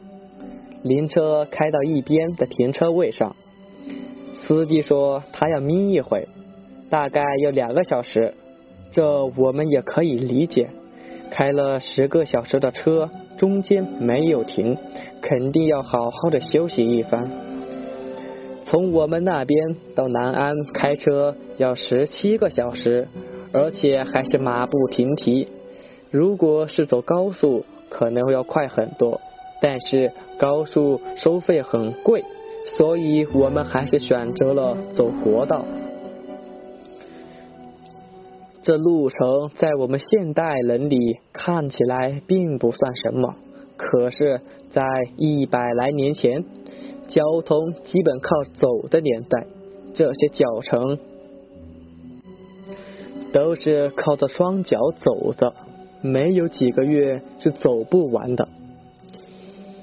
爷爷和司机都闭眼休息了，但是我却不敢合上眼睛，可能是白天睡得太多了，但最主要的是做了那个噩梦。我总感觉有人在盯着我，我觉得整个气氛有些不对。至于是哪里出了问题，我自个儿也说不上来。反正我就是不敢合眼，紧紧的靠着爷爷，身上盖着厚厚的纯棉花军大衣，眼睛则是戒备的扫视着车里。按摩摩的车里，你一个人睁着眼睛打量着四周，那是一件很可怕的事。但是恐惧是源于无知，只要是知道了事情的真相，那便不会再害怕。所以我睁大了眼睛看向四周，心里想：要是我一闭上眼，然后不经意间睁开。突然发现有一张脸就在我的眼前，近的快靠近了我的脸，那我不得活活吓死？所以索性我就不闭眼了，我就这样睁着眼。大概过了两个小时，司机醒了，啪嗒一声点了根烟，狠狠的吸了几口之后，便转头对我们说道：“啊，时间差不多了。”咱也继续出发吧。现在大概是夜里十二点多，晚上到凌晨这段时间车子应该会很少，速度会快些。大概我们早晨清晨就会到了南安了啊！啊，好的，司机师傅，您辛苦了。爷爷开口说道：“总要有人回答司机的，不然没有礼貌，所以只能是爷爷开口了。”车子继续前进，果然如司机所说，一路上的车子很少，有路灯的路段也很少。好长的一段路，外面都是黑漆漆的，我不敢看向窗外，要是看见什么不该看的东西，那还不得活活吓死？我发现我的胆子越来越小，索性。把整张脸靠在了爷爷怀里，不知不觉间，我又睡着了。或许是太累了，又或许是脸靠在爷爷的怀里，安全感十足。清晨的时候，被爷爷叫醒，说到南安市区了。我揉了揉眼睛，看向车窗外，天刚蒙蒙亮，街道上整整齐齐，却没有多少行人。不远处，一个巨大的圆盘，圆盘里这是一座巨大的雕像，雕像的底座刻着民族英雄郑成功。果然到了南安，至少我记得历史。民族英雄邓成功是南安人。我转过头问向爷爷：“那现在该怎么找吗？”我看着摆放在最后的三位道爷，至少是放回了故乡。但是要找到他们的后人，这可就难了。我和爷爷下车，市区里的人还是很少的，因为才早上六点。偶尔有些车辆经过，但是都不能停留的。我们得问过路人才行。不远处有一个早点摊子，我和爷爷朝着那个早点摊子走了过去。姑娘，来三根油条，三个包子，再来三杯豆浆。爷爷掏出钱袋说道：“您拿好，总共是九块钱。”卖早餐的阿姨递过早点，说道：“我靠，城里的东西可真贵呀！我在学校一餐饭也才一块钱，这里早餐一个人要三块钱。”爷爷拿了十块钱递过去：“姑娘，请问一下，您知道毛家庄怎么走吗？”毛家庄？嗯，没听说过。姑娘摇了摇头，早给爷爷一块钱之后。说道：“嗯，是哪个镇子的？啊，不知道，没说呀。我们是来寻亲的，地址只写了泉州南安的毛家庄。”爷爷摇了摇头，苦笑道：“嗯，那就不知道了。至少你们得问清是哪个乡镇的嘛，不然根本不好找。你们有电话吗？”姑娘继续问道。没有，算了，我们再问问其他人吧。谢谢您了，姑娘。我和爷爷回到了灵车上，与司机吃过早餐之后，讨论着。嗯，大爷，我建议您到派出所问问，派出所的电脑里会有记录。一个路边的大爷边吃着豆浆边说道。呃，有道理。一会吃完饭，我们就去派出所问问吧。爷爷连连点头。到达派出所的时候，大概是八点，刚刚上班。保安室的大爷拦住了我们，问我们找谁。爷爷说我们想找一个叫毛家庄的地方，问老大爷知不知道。他直摇头。说没听说过，也问了我们是哪个乡镇的，爷爷说这就不知道了，才来到派出所查一下，看看是毛家庄是哪个乡镇。老大爷倒是挺热心的，还特地的到户籍室帮我们查，但是户籍室的在民警全户籍系统里输入的毛家庄这三个字，却显示没有结果。也就是说，南市里现在是没有毛家庄这个地名的。然后按照爷爷的要求输入“毛”字，查一查南安毛姓的住户，查到了一些，但是很分散，根本就不集中。有的村一户，有的两户，根本就没有达到庄的规模。整个南安市里姓毛的人家也就百来户，好多还都是外地的。户籍民警说这样查会比较困难，准确度也低，问我们是不是弄错地址了。我爷爷说地址没错，也不可能错，因为地址是三位道爷留下来的，肯定错不了。关键这是一百年前的地址，到现在肯定会有些出入。毛家庄可能是以前的一个村，也可能是一个村里的某个地名。爷爷突然想起，说道：“啊，他们家是驱魔世家，应该世世代代做道士的。你们慢慢看，在百来姓的茅户里，有没有是做道士的？”办案的民警也很热心，在户籍栏直接里又输入了“道士”两个字，显然没有查到。他微笑着说道。呃，这个户籍制度是新中国建国的时候建立起来的。以前破四旧，道士是要被批斗的，所以在户籍栏里一般不会写道士二字。我们连连点头，是这样的。破四旧那时，到处做道士批斗，打倒一切牛鬼蛇神，哪里还有人敢在户籍本上写自己的职业是道士？大家要么写工人，要么写农民，是老师的写老师，肯定不会有人写道士的。啊，警察同志，你能把这上百户毛姓人家的地址给我吗？我挨家挨户的去寻找。爷爷苦着脸请求道。警察同志摇摇头说道：“啊，大爷，不好意思啊。”按照规定，我们是不能够这么做的。其实刚才帮你查询这些，必须是向领导领请示才行。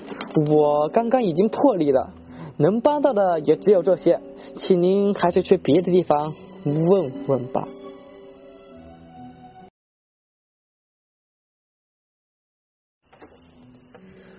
欢迎收听由有声的夏天演播的《茅山道士》。第十六章啊，谢谢爷爷，知道他们尽力了，便带着我转身过去。只是一转身往前两步，一个女人朝着派出所的大门而来。我定睛一看。当看见对方的面容之时，我猛然的吓了一跳，背后一凉，仿佛整个人触电了一般，全身的汗毛都竖了起来。鬼啊！我再次吓得呐喊了出来，整个派出所的大厅都充斥着我的叫喊声。是谁在大喊大叫的？一时间冲出五六个民警，包括那个户籍民警。还有刚才看门的老大爷也冲了进来，他们瞪大的双眼看着我，我瞪大双眼，直勾勾的看着那个大门，我的心扑通扑通的跳着，心都跳到了嗓子眼。难道这些民警都没看见门口有个女人吗？我看看他们的视线全在我的身上。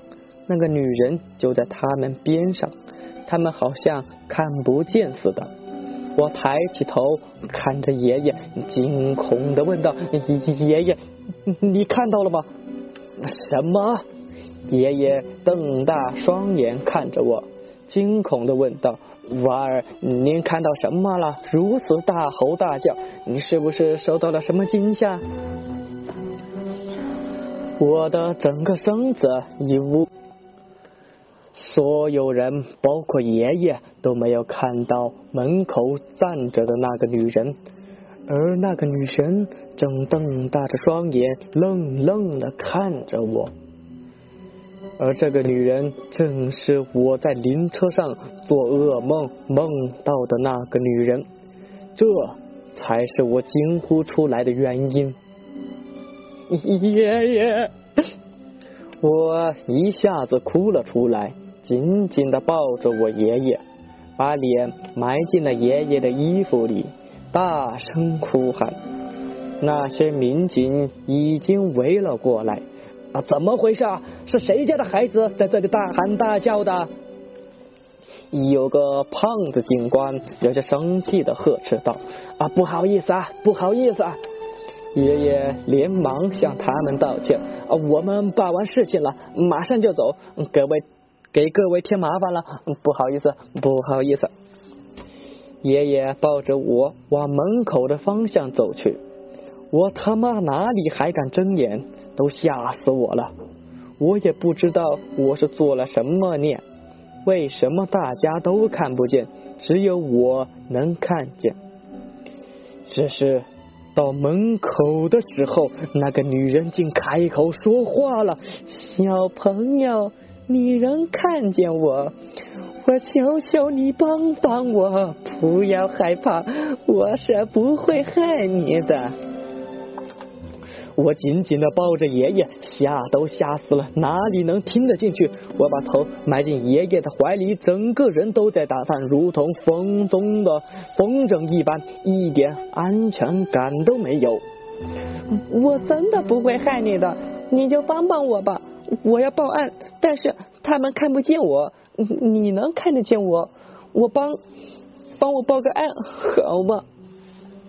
那个女鬼依然在我爷爷的身边，对我继续说道：“小弟弟，我的人，我的坟被人挖了，那人挖了我的尸骨，要卖给别人做冥婚用。我一直跟着这个人，但是我没有办法。”所有人都看不见我，我叫天天不应，叫地地不灵，只好碰上你可以看见我说话，也能听得见我。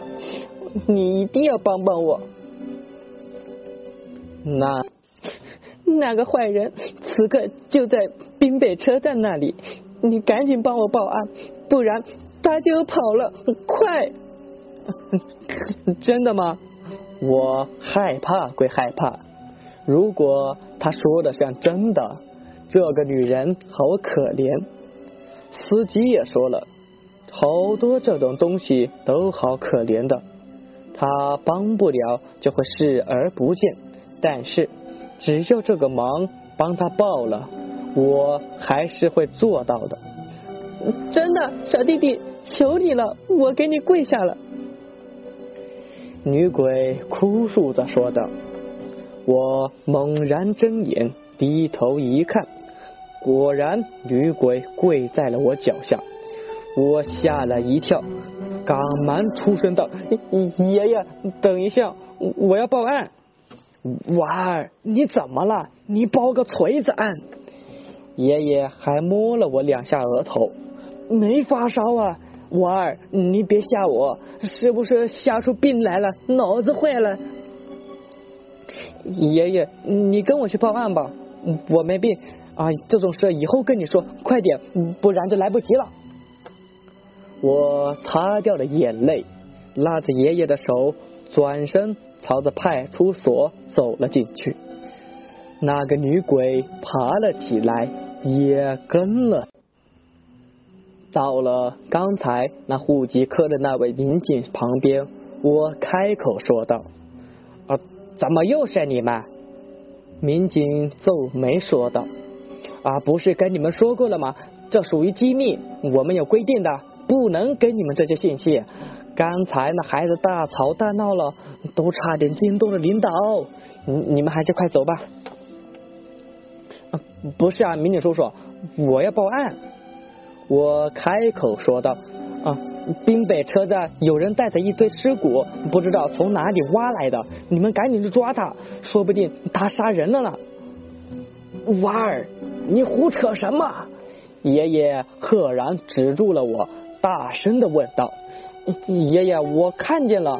哎呀，晚点跟你解释。”我转头跟民警说道：“啊，警察叔叔，快点，不然他就乘车跑了。”小朋友，这种事可不能开玩笑的啊！你要是报假案的话，我们可要抓你。警察一脸严肃的说道。我转头看向边上的女人，女人连连点头。我也对着警察点点头，说道：“啊，警察叔叔，我都十三岁了，读初中，怎么会乱说话？”警察也意识到了我没有说假话，便站了起来。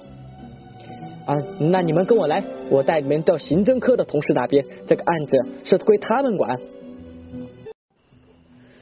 副驾驶和驾驶座上有着两名警察，我和爷爷则是坐到了后排。当然了，那个女鬼就坐在我的旁边，我紧紧挨着爷爷，与那个女鬼的中间起码隔着一个座位。警车到达滨北车站，下车后，警察问道：“小朋友是哪个人？我们去捉他。”好，我点了点头，带着他们往候车厅而去。女鬼在我前面，我拉着爷爷，两个警察则跟在后面。到了候车厅。女鬼扫了一眼，一眼就认出了那个农民装扮的中年男人，朝着他奔跑了过去。我们也追了上去。那个人惊吓的看着我们，一见到警察，便将一口白布挂在肩上，准备逃跑。但是他哪里是警察的对手？两名警察冲了上去，三下五除二，两下就给摁在了地上。候车厅里上百人都站了起来，看着这一幕。就是他，女鬼指着被控制的那个男人，而后又指了指那个白布袋，说道：“嗯里面就是我的尸骨。”嗯，就是那个布袋。我指着那个布袋对警察说道：“咔嚓一声，那中年人的手脚都给铐上了，就趴在地上一动不动。其中一个警察站了起来，走到白布袋的旁边，解开绳子之后，一颗骷髅头露了出来。哗！整个候车厅一下子沸腾了。”众人一片议论，带走。警察又重新系上了绳子，将袋子递给了爷爷。他们两个人将那个中年人也抬了起来，往外面的警车而去。十五分钟后，我们回到了警察局。那个中年人被抓进去了审问。而我和爷爷也要做笔录，我也纳闷，我做了一件好事也要被审问。最关键的，我不知道该怎么说呀？难道要说是鬼告诉了我有人挖了他的尸骨，然后让我帮他报案的吗？我要是这样说，鬼信呐？鬼还真的可能信。我也没有骗鬼，更没有骗人，但是警察肯定是不会信的。最关键的是，我受过高等教育，我不能说谎的，不是？但是我很清楚，今天要是不说谎，肯定是出不了局子了。啊，那个警察叔叔，我和我爷爷呃是来你们是找亲戚的。但是路过你们那个圆盘子的雕像的时候，呃，就是那个郑成功雕像的时候，正好这个人提着那个布袋呀，在圆盘上休息。然后他解开那个袋子看了一眼，那个死人头就不小心被我看到了。我我犹豫了好久，不知道要不要报警，但是最后想了想，还是报警了。我怕，要是我不报警，那骨头的主人就要找我麻烦了。说完之后，我用余光斜了一眼那个女鬼，女鬼就在我的边上，正微笑的看着我。嗯，记录下来了，谢谢你啊，小朋友，多谢你的报案，才破了这起案件。嗯，你是个好孩子。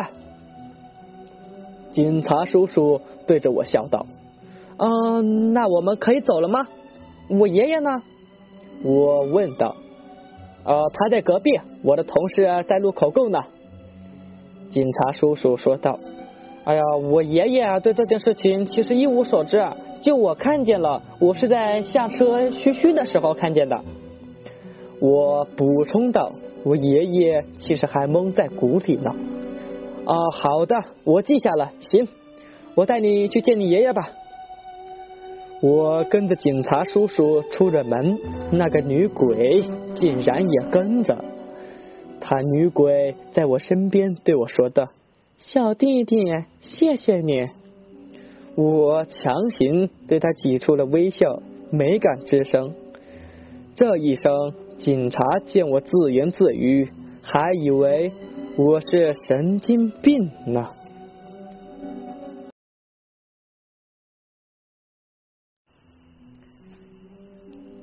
欢迎收听由有声的夏天演播的《茅山道士》第十七章。到了大厅，爷爷也出来了，另外一位警察也等在那边。怎么样？那个嫌疑犯糟了吗？给我录口供的警察向他的同事问道：“什么都糟了？这小子还算坦白，都还没问，全糟了。”那警察说道：“唉，封建迷信害死人呐！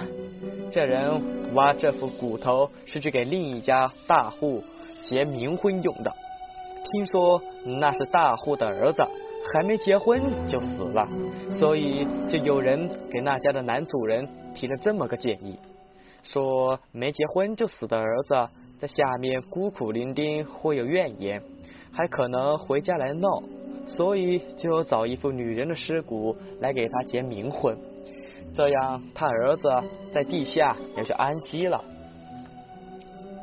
小点声说。咱们闽南人好好像都挺好这些的，举头三尺有神明，还是少说点好。我身边的警察叔叔说道：“得了，所长的意思是让这嫌疑犯领路，把这具尸骨带回到坟边去，重新埋起来。”那警察为难的说道：“我怎么就摊上这事了？那你就按领导的意思做呗。”不是啊，哥，我真有怕怕这些东西。那名警察指着放在角落的那白布袋说道：“我胆子小，而且这东西我感觉挺忌讳的，处理好了再说吧。万一出了不好，嗯，这要是出事，万一那个冤魂来找我呢？你别自己吓自己了，要不然你向所里申请资金，给放在殡仪馆烧成骨灰，然后拿骨灰结下账。”给我做笔录的警察说道：“嗯，这倒是好办法。”那个警察一下子乐了：“别别烧他们的尸骨，小弟弟，你快去阻止他们！”身边的那个女鬼惊吓的对我说道：“叔叔，你别烧了，这都已经成了尸骨，看来也有些年限了，已经入土为安了。你现在给他埋回去，什么事都没有。要是烧了……”嗯，那才会真的出事呢。我急中生智的说道：“这小朋友，你可别瞎说。”那警察也吓了一跳。我没瞎说，如果你不埋这只尸骨的话，我就让我爷爷帮你们吧。我说完，扫了一眼旁边的爷爷。两位警官，我在乡里也帮人家捡骨的。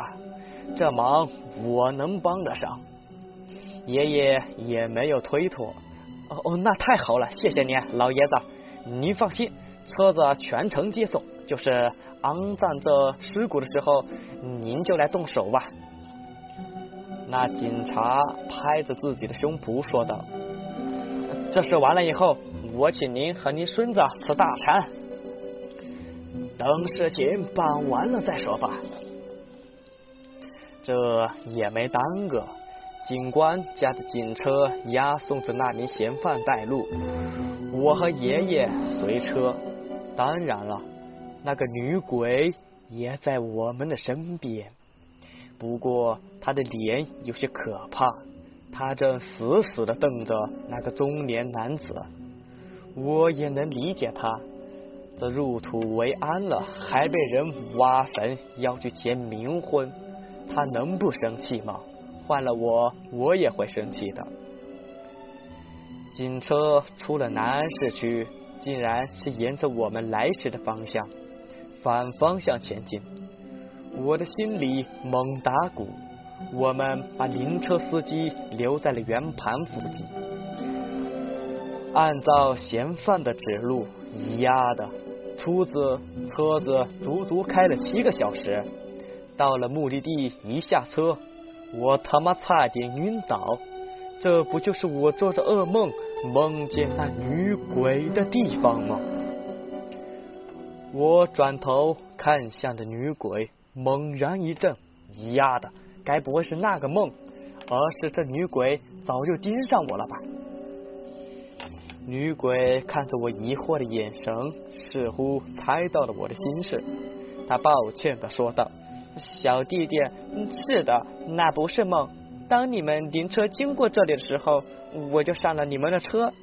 我是搭灵车去南安市区，我当时就想请你帮忙去报警了，但是一上你的身。”你就被吓醒了，所以我便作罢。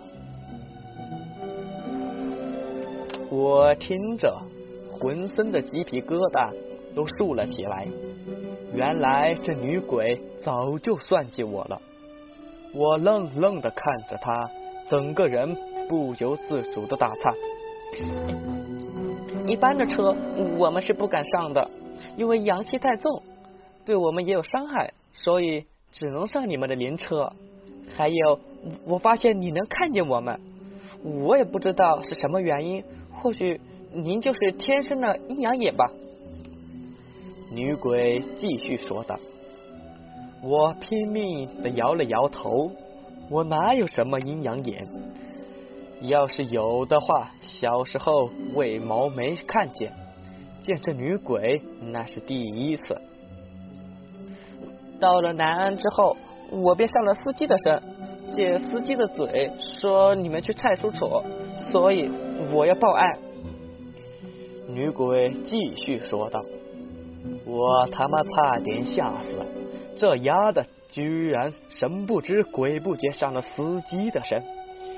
原来告诉我们去派出所查地址，并不是司机的意思，而是这女鬼的意思。”我的脊背一凉，脊柱骨仿佛被电击了一般，傻傻的站在那，都不敢动了。我紧紧的跟在爷爷的身边，尽量远离这个女鬼。在嫌犯的带领之下，我们沿着一条石子路蜿蜒往上，走了大概二十多分钟，在一处水稻田的岸壁上找到了。整个棺材已经成了棺材板，哪还有什么裹尸布，还有尸体呢？偶尔还能闻到淡淡的腐臭味。爷爷特地让警察买了口大水缸，他在上车之前就把女鬼的尸骨放入水缸之内，然后用一个土封盖盖盖上了。周围粘上了糯米，彻底封死。草草进行了现场的整理，将几块棺材板和那裹尸布弄到了一边，最后一把火烧了。两名警察在爷爷的指导下，将大水缸慢慢的放入坑墓，而后用铁锹盖上了土，直到变成一个圆锥锥的小土丘才罢手。两个警察满头大汗，爷爷则是四处寻找，前后左右都找了，甚至水田里也仔细寻找了一番。他疑惑道：“墓碑呢？喂，你挖墓的时候有没有墓碑？”爷爷陪警察走到了嫌疑犯身边，然后问道：“嫌犯在这里之后？”又被手铐铐住了，趴在那儿一动不能动。这是个无主坟，荒坟，连个墓碑也没有。如果有墓碑，有没有新的祖坟，我也不会挖了。要不知道这坟，后人还不得杀了我？那个中年男人来历，爷爷皱眉看着中年人。我也不太清楚，我只知道这附近有好多无主之坟。以前听村里的老人说过，这边站了好多下乡的知青，有好多未结婚的女知青的，所以我就按照客户的要求找到了这里，随便挖了一位。中年人继续说道：“你缺德吧？你等着遭报应吧！”爷爷愤怒的说道。既然无名无姓，那也没办法立碑了。两位警察同志，咱们再把满几块石头压压坟，别一刮雨就把这新翻的土给冲没了。爷爷考虑了一下，便建议道：“好的，老爷子。”我则是看着那个女鬼，小声的嘀咕道：“嗯，你叫什么名字？”柳阳。女人只是轻轻的说道：“你在跟谁说话？”那个中年人大眼瞪小眼的看着我，整个人都在打颤，趴在地上拼命的挣扎。他害怕和恐惧的眼睛四处张望，想要逃，想要跑，但是奈何手脚都被铐住了。我在和这坟里的这位说话。我对这个盗墓贼没有任何的好感。既然他心虚害怕，我干脆就告诉了他，吓吓他。啊，鬼呀！求求你不要杀我，我错了，我知错了，别杀我。那个中年人哀嚎了起来，眼泪鼻涕都出来了。我才懒得理他。而是在旁边捡了个石板，而后拿着另外一块小石头，在那个石板上刻着“柳阳之墓”四个字。对于我这高才初中生，这四个字还是难不倒我的。我把写好的小墓碑悄悄的插在坟丘上，没让爷爷他们发现。娃儿，这人哀嚎什么呢？爷爷跟警察搬着石头回来，看到盗墓贼在哭，便问我：“哦，我不知道，估计是做贼心虚吧。在坟里的正主早来，应该是向他报仇了。”我随口戏剧性的说道：“活该！”爷爷呸了一口，说道。你这种人最该死啊！人家都成了荒坟，孤苦伶仃，你竟然还挖人家的尸骨，你真的死一万次都不够。好在柳阳只是静静的在旁边看着，并没有要动手的意思。待爷爷和两名警察将坟丘加固完了后，他才弯腰朝着爷爷三人行礼。虽然爷爷他们看不到，柳阳也朝着我弯腰行礼。我很想拒绝，但是又不敢出声，也不敢罢手，因为爷爷他们就在边上。柳阳对我说道：“真的太谢谢你们了，小弟弟，你们是好人，好人一生平安啊！”娃儿，我们走了。爷爷向我招手道：“哦。”我和柳阳点头告别，而后准备转身，柳阳却开口喊住了我：“小弟弟，我好像听你们说在找什么毛家庄，是不是？”柳阳突然问道。我猛然点点头。难道柳阳知道这个地方吗？我没开口问。而是瞪大双眼，欣喜的看着柳阳。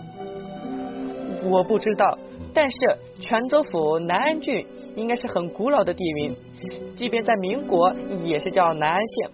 郡的话，应该属于清末。那时候的南安，包括现在的鹿岛市和同安区，以前同安区为南安郡的同安县。我不知道你们是不是要去这个地方？会不会在同安？你们既然在南安找不到，可以去同安试试。柳阳解释道：“我他妈恍然大悟了。是了，没错，历史有介绍过，同安原来属于南安的，后来规划了给了鹿岛。那个毛家庄还真的可能在鹿岛的市区同安区。”我朝着女鬼点点头，告别以及谢道。而后朝着爷爷走了过去，两名警察押着嫌疑犯走在前面，爷爷拉着我在后面走着。临走时，我还回头看了看柳阳，他正使劲的朝我挥手告别。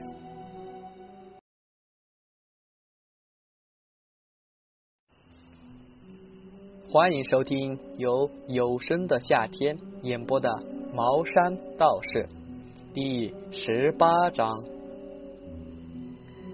我们下了山，两名警官将那盗墓贼先押上警车，我们在后面跟上。车子启动，往南安的方向而去。总算是完成了这件事。众人心里的石头总算是落地了。老爷子，小朋友，一会回去，我们先去冲一冲，然后晚上请你们吃海鲜大餐，怎么样？答应请我们吃饭的那位警官转头对我们说道：“啊，不用客气，警民合作是应该的。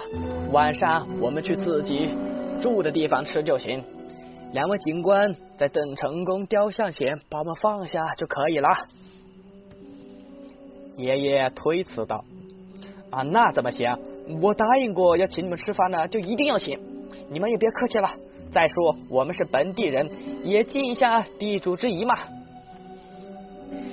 警官再次盛情难却的邀请道：“哎呀，真的不用，警官，我们还有朋友在那边等着我们呢。”爷爷记起了司机，这样把人家丢在路边，一句也没有交代。司机应该有手机，但是我们却没有他的手机号码。要不然，倒是可以借警官的手机给他打一个。你你，警察突然脸色大变，还伸手指向了爷爷。我和爷爷脸色都大变，这警官怎么回事？难道是因为爷爷一再拒绝而不爽吗？警察叔叔，我爷爷不是有意拒绝您的，确实有朋友在市里等我们。我们出来的时候还没跟他说一声，怕他担心。我赶紧解释道：“不不不，我不是说你们，而是说你后面那个嫌疑犯。你们看。”警官嘴角抖动的说道：“原来他指的不是爷爷，而是爷爷后面的车厢牢笼。”我们猛然转头，一转头吓了一跳，那嫌疑犯正双手握着我们后面车窗栏杆，只见他的脸都黑了，口吐白沫，双眼里竟现出了鲜血，两眼直翻白，整个人一直在抽搐。停车！爷爷喊了一声，咯哒一声，警车急刹车。我们四人齐齐下车，这警车就跟工具车是一样的，好像是皮卡改装的。前面是驾驶座和副驾驶座，我和爷爷则是坐在中间的位置，后面的车厢则是改成了牢笼，在牢笼与我们座位之间留着一个窗口，以便警察可以时不时。观察牢笼里罪犯的一举一动，窗口上有八根铁栏杆，这是为了安全起见，怕嫌疑犯偷袭警察。而此刻的盗墓贼双手死死的抓住栏杆，手腕间的手铐随着身躯的颤抖发出嗡嗡的响声。起来，别他妈装神弄鬼！警察打开牢笼的铁门之后，对着盗墓贼喝道：“我们四人都上了牢笼。”原来盗墓贼就跟发了羊癫疯一样。整个人一直抽搐，口吐白沫，额头上的青筋条条凸显了出来，两只眼睛死死的看着我，我他妈吓了一跳，那眼睛正薄薄的冒着鲜血，我吓得赶紧抱住了爷爷。对于这突发的情况，警察也措手不及。不知道该怎么办，爷爷则是瞪大了双眼，在整个牢笼的四周打量着。不知道什么时候，那把铜钱剑已经握在了他的手里。他拿着铜钱剑，朝着正在四处抽搐的盗墓贼啪的打了过去。瞬间，盗墓贼停止了抖动。整个人如同烂泥一般，仰天躺在牢笼里，两只血淋淋的眼睛正看着我。鬼鬼有鬼呀！他用着虚弱不堪的声音说道，声音虽然微小，但是我们四个人仍然够听得清清楚楚。说完之后。他的头一偏，断气了。爷爷吓了一跳，猛然用双手探了他的鼻息，对着警察摇了摇头：“死了。”警察不敢相信的反问道：“爷爷点了点头，说道：‘恶有恶报，时机一到。’”警察觉得有点瘆得慌。他们面面相觑，而后定睛的看着爷爷，征询爷爷的意见。而我则是转头看向了四周，我在四处寻找柳阳。如果真的有鬼的话，那肯定是柳阳干的。可是四周空空如也，根本没有一个鬼影，更别说柳阳了。我望向山上那条山路，相距二十多分钟的路程，柳阳应该还在山上。难道这嫌疑犯是因为惊吓过度而暴毙的吗？先回警察局再说。这车厢里有探头，让法医去鉴定一下吧。我们先走。说话的同时，两个警察都看向了车内的探头。警察也上前探了一下嫌犯的鼻息，还有脉搏跟心跳，反复确认之后，确认嫌犯已经死了。他们便把后面车厢的牢笼门给锁上了，而后上车，车子朝着南安市区疾驰而去。到了派出所之后。已经是晚上的八点整，通知警察局里面的法医检验过尸体之后，死亡原因出来了。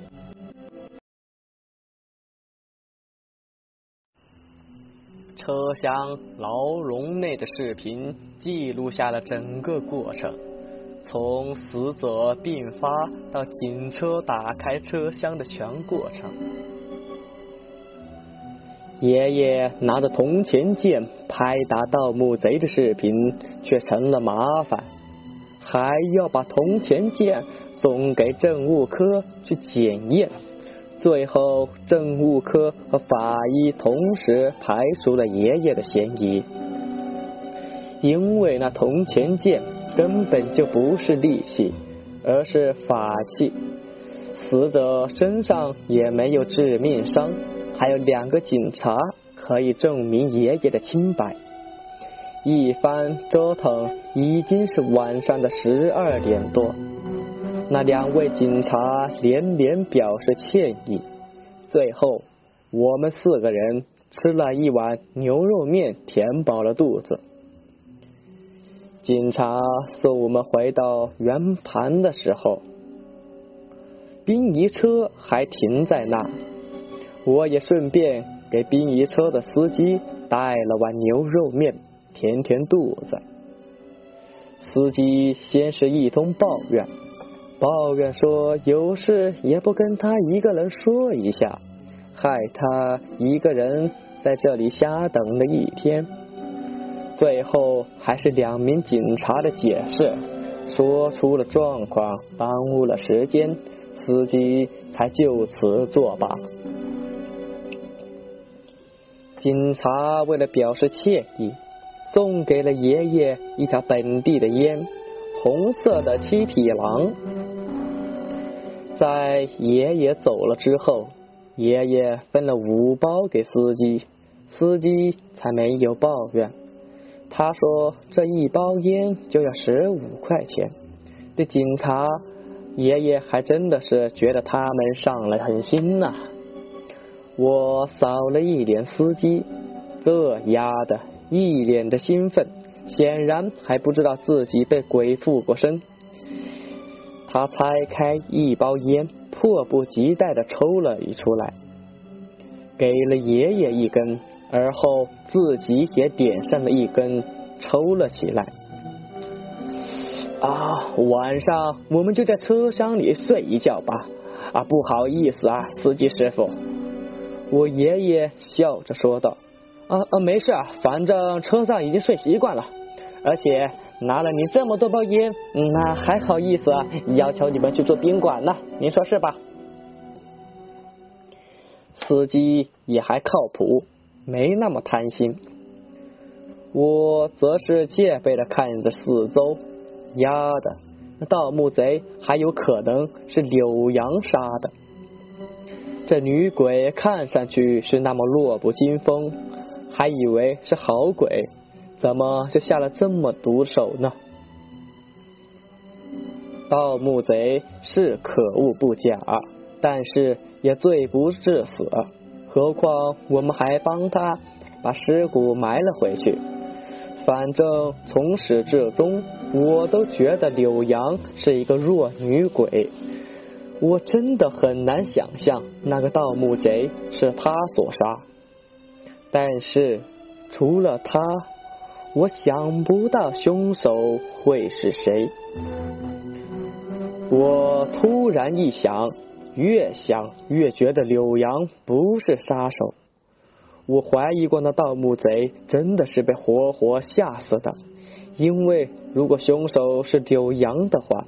柳阳在盗墓贼要挖他尸骨的时候，就可能动手杀了他，何必绕这么大一圈子，还求我报案？他根本就无能为力去阻止盗墓贼挖他的尸骨，何光说去杀他，他只能跟踪，最后求救于我，我帮他报案，才破了这个案子。所以我排除了是柳阳杀人的可能，盗墓贼应该是被吓死的，或许是看见我跟他看不见柳阳的对话而活活吓死的。一想到这，我内疚而又自责。但是如果真的是这样，我的罪过就大了。我一阵阵的内疚。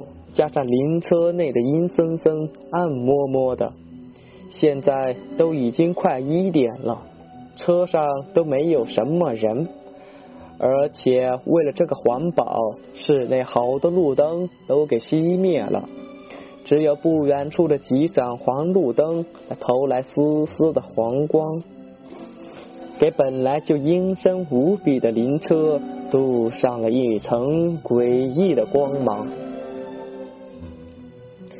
呃，老爷子，今天有查到什么线索吗？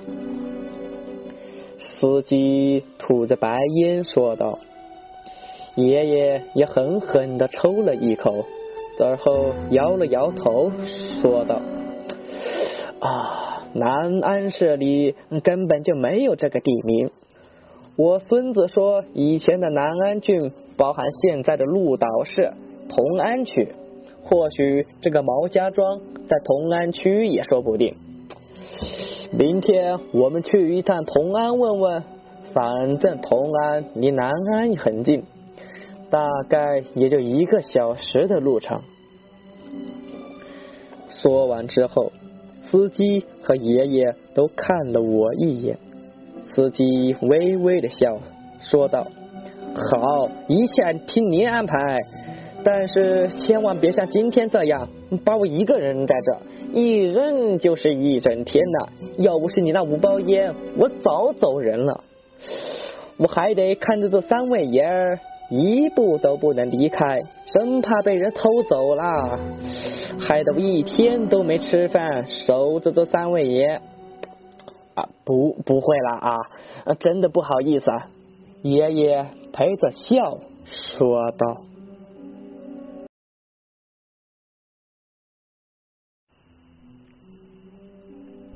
欢迎收听由有声的夏天演播的《茅山道士》。”第十九章，一个晚上我都在担惊受怕中度过，睡眠也很不好。虽然灵车是停着的，没有颠簸，但是整个车内的气氛我就受不了。何况一个晚上呢？好像有好多蚊子在咬我。南安这地方怎么有这么多蚊子？可是我没有听到蚊子的嗡嗡声，再想着也不对，车窗都是关着的，蚊子怎么飞得进去？更何况车内阴气那么重，人待着都受不了，这蚊子怎么可能进来？只怕刚一飞进车里，就被重重的阴气压趴在地上，飞。都飞不起来，我怀疑不是蚊子咬的，应该是过敏了。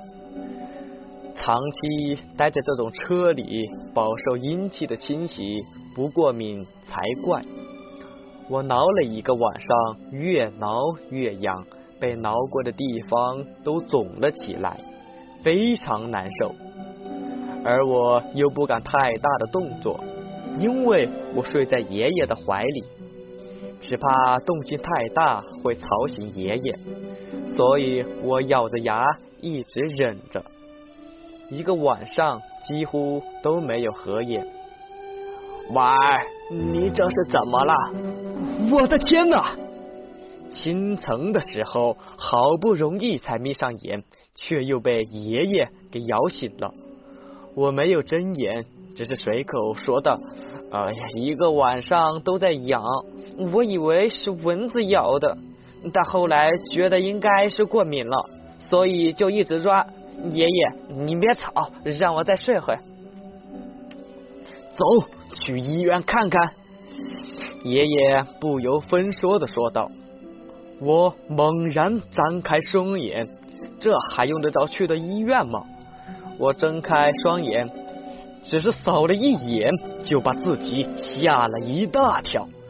两只手臂和两只腿已经浮肿了，而且已经成了紫红色，好似水肿的一般。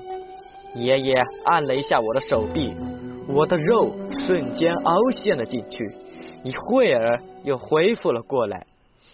哎呀，爷爷，又痒又疼的，我这是咋了？我嘶嘶的倒吸冷气，都快吓哭了。怎么会这样？司机开着车子，沿着路标上的标示，往南安市区医院而去。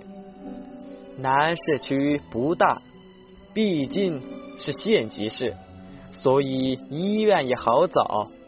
片刻之后，我们便进了医院。挂的是皮肤科的急诊，可是那老大夫看了半天，也没看出是怎么回事，然后先给我调了两瓶水，说是消炎的，让我挂水。只是才挂了半个小时，我整个人都快炸了，是胀，胀的都快炸了。本来就是水肿，此刻又挂水，而且一挂水，全身更疼更痒了。我实在忍受不了了，自己拔掉了输液针，爷爷便蹲在我的身边，仔细。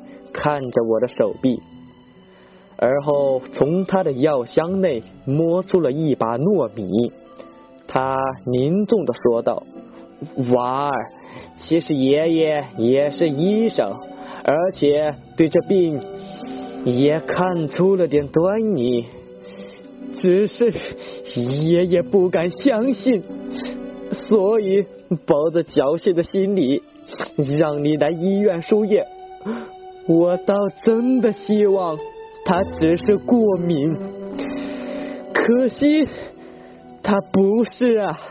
娃儿，你忍忍，让爷爷试试。好好的，爷爷。我点了点头。爷爷瞬间把那糯米摁在了我的手臂上，而后捏住了我的手臂。慢慢揉搓，我疼的整个人都在打颤，嘴里却说着没事。下一刻，我和爷爷都傻眼了。我见那糯米一颗颗的从手臂上掉落在地上，本来白白的糯米粒，此刻全部发黑。而且我的手臂上那些也全都发黑了，肉眼可见的事实，竟然还冒着丝丝的黑气。虽然我不知道这是怎么回事，可瞧这架势，我知道我他妈摊上大事了。虽然爷爷不说，但他全写在脸上了。他脸上皱纹。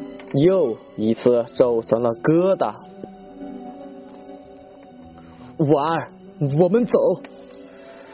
说完，爷爷一把抱起我，朝着医院外走去。爷爷，我这是怎么了？我看着爷爷问道：“回车上再说，这病医院是治不好的。”爷爷抱着我。不由分说的往医院外的灵车而去。大爷，这是怎么了？医院也治不了吗？这是啥病啊？司机打开车门，让我们上去，关切的问道：“先不说了。”爷爷让我躺在座椅上，让我扒开全身的衣服，甚至连我的小内内也不给扒开了。好在车上就我们三个男人。按照爷爷的说法，我全身没有一块好的，全身都是红紫色的水肿。爷爷无比凝重的扫视着我的全身。大爷，您孙子这是怎么了？司机也吓了一跳，忍不住又问道。中了尸毒，这是全身都是尸斑呐！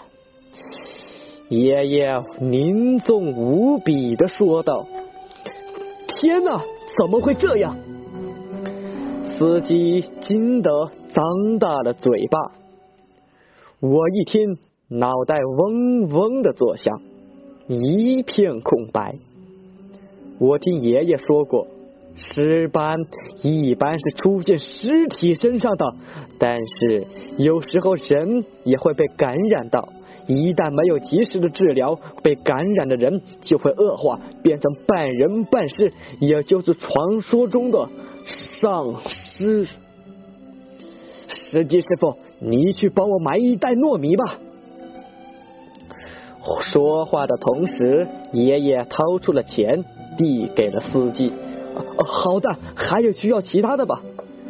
司机倒也挺热心的，碰到事也蛮积极。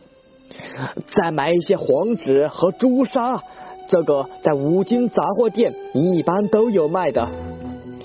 爷爷沉思片刻，说道：“哦，好的，我很快回来。”司机下车去买东西了，车上就留下了我和爷爷。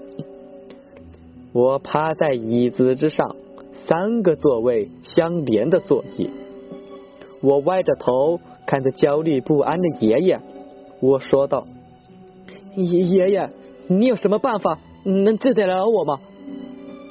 会有办法的。以前有人被抓伤过，但是伤口只是局部的，用糯米敷一敷，然后开些排毒的中药吃一吃就好了。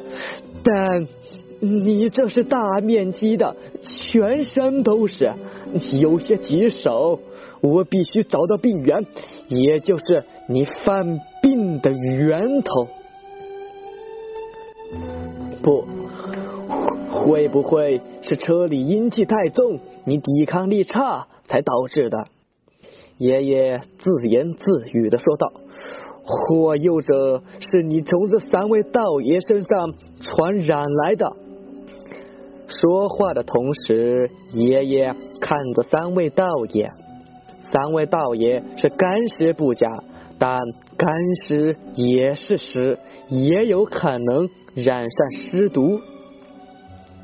还有一个可能，便是昨日那具女尸骨所传染的。我想这可能性更大。突然，爷爷一愣，很有把握的说道：“我也吓了一跳，这丫的，柳阳想害死我吗？”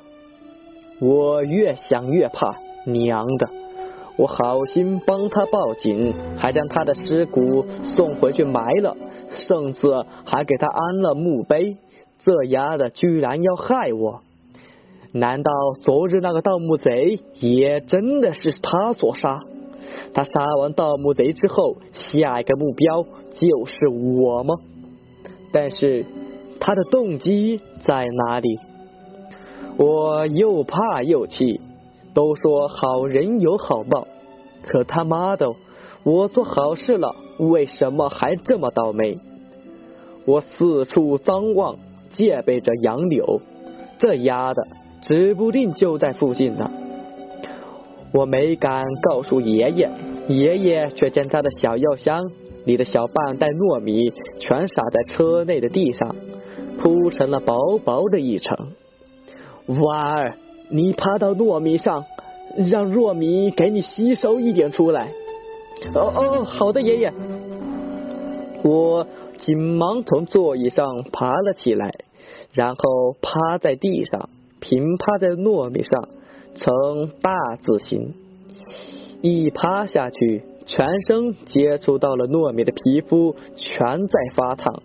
我知道那是糯米在起效果了。我的周身弥漫起了丝丝的黑烟。爷爷拿着笔，蘸着朱砂，在我的背上画着符箓。我想着应该是符，但是我不知道会不会有用。画了一会，爷爷停了下来，拿起他那门玄门武术，翻了一遍又一遍。最后无奈的收了起来，显然没有找到方法。爷爷，这三位不是留了一本《茅山道志》吗？你看看，或许那有办法救我，不一定呢。我提醒道：“哦，对对对，我怎么把这事给忘了？”爷爷恍然大悟，猛然从药箱里掏出那包用油布包包着的。茅山道志，寻找着方法，有了！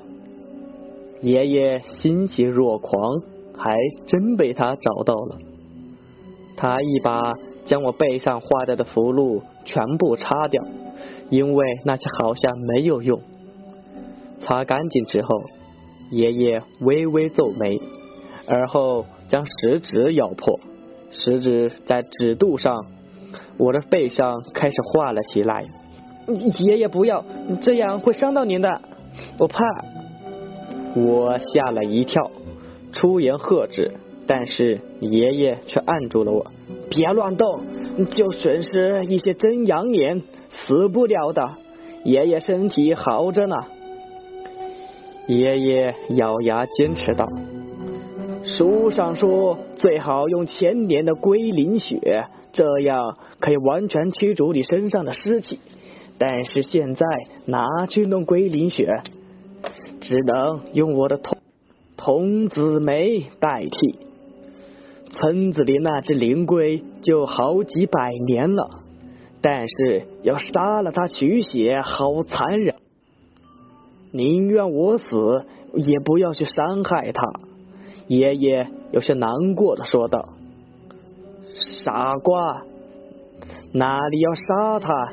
只是在他的指肚上轻轻的划了一个口子，取一点血就够了。你看，爷爷用自己的血画这些符都死不了，何况那体积那么大的灵龟？”爷爷脸色苍白的说道。那倒也是，我点了点头。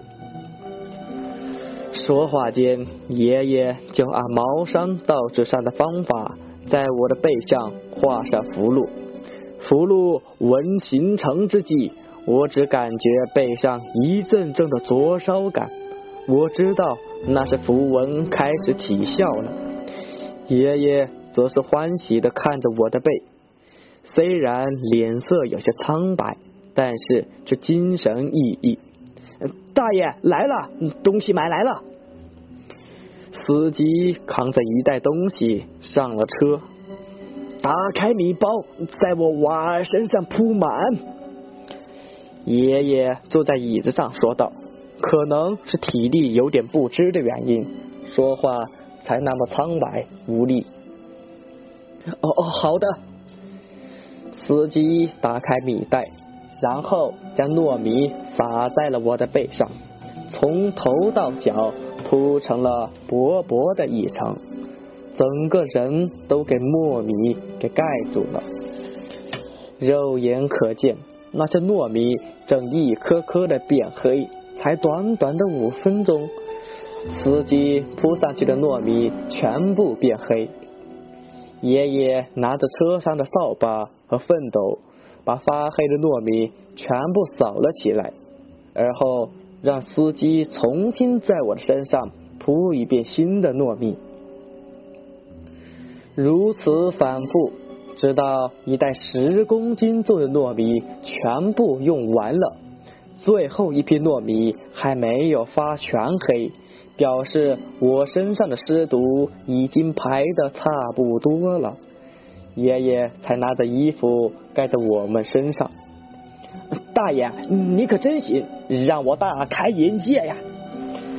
司机见我好了一些，兴奋的说道，对我爷爷甚是恭敬。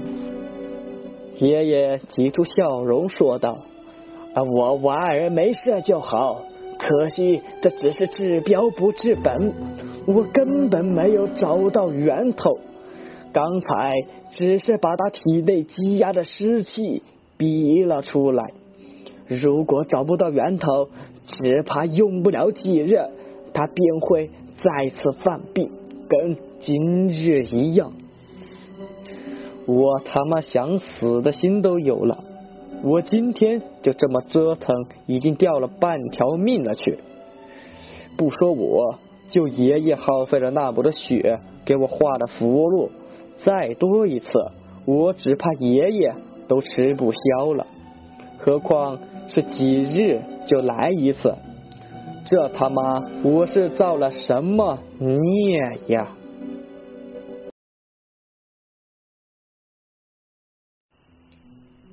欢迎收听由有声的夏天演播的《茅山道士》第二十章。当天下午，我们没有停留。虽然被这事折腾的半死，但是我们并没有要休息的意思，而且继续看着车子往同安而去。爷爷与我都有些虚弱，只有司机的精神比较好而已。而从南安往同安的路线，要不经过泉州走高速，要不就直接走国道经南安的东田镇下去。但是后者比较近，但是路比较不好走，不是不平，都是平坦的水泥公路，只是山路弯弯，弯道很多。很多事故都是从这里出来的。司机选择了走国道，一是省钱，二是省事。他觉得时间上都差不多，没必要去走高速，而且他山路也走的习惯。这山路对我们那个小村庄的石子路可强得多呀！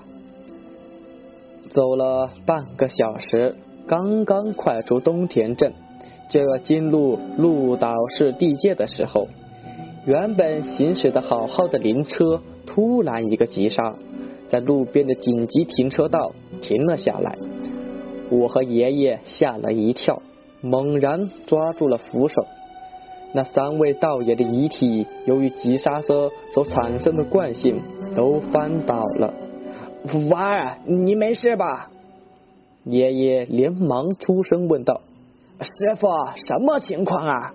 我、我他妈好像撞到人了！”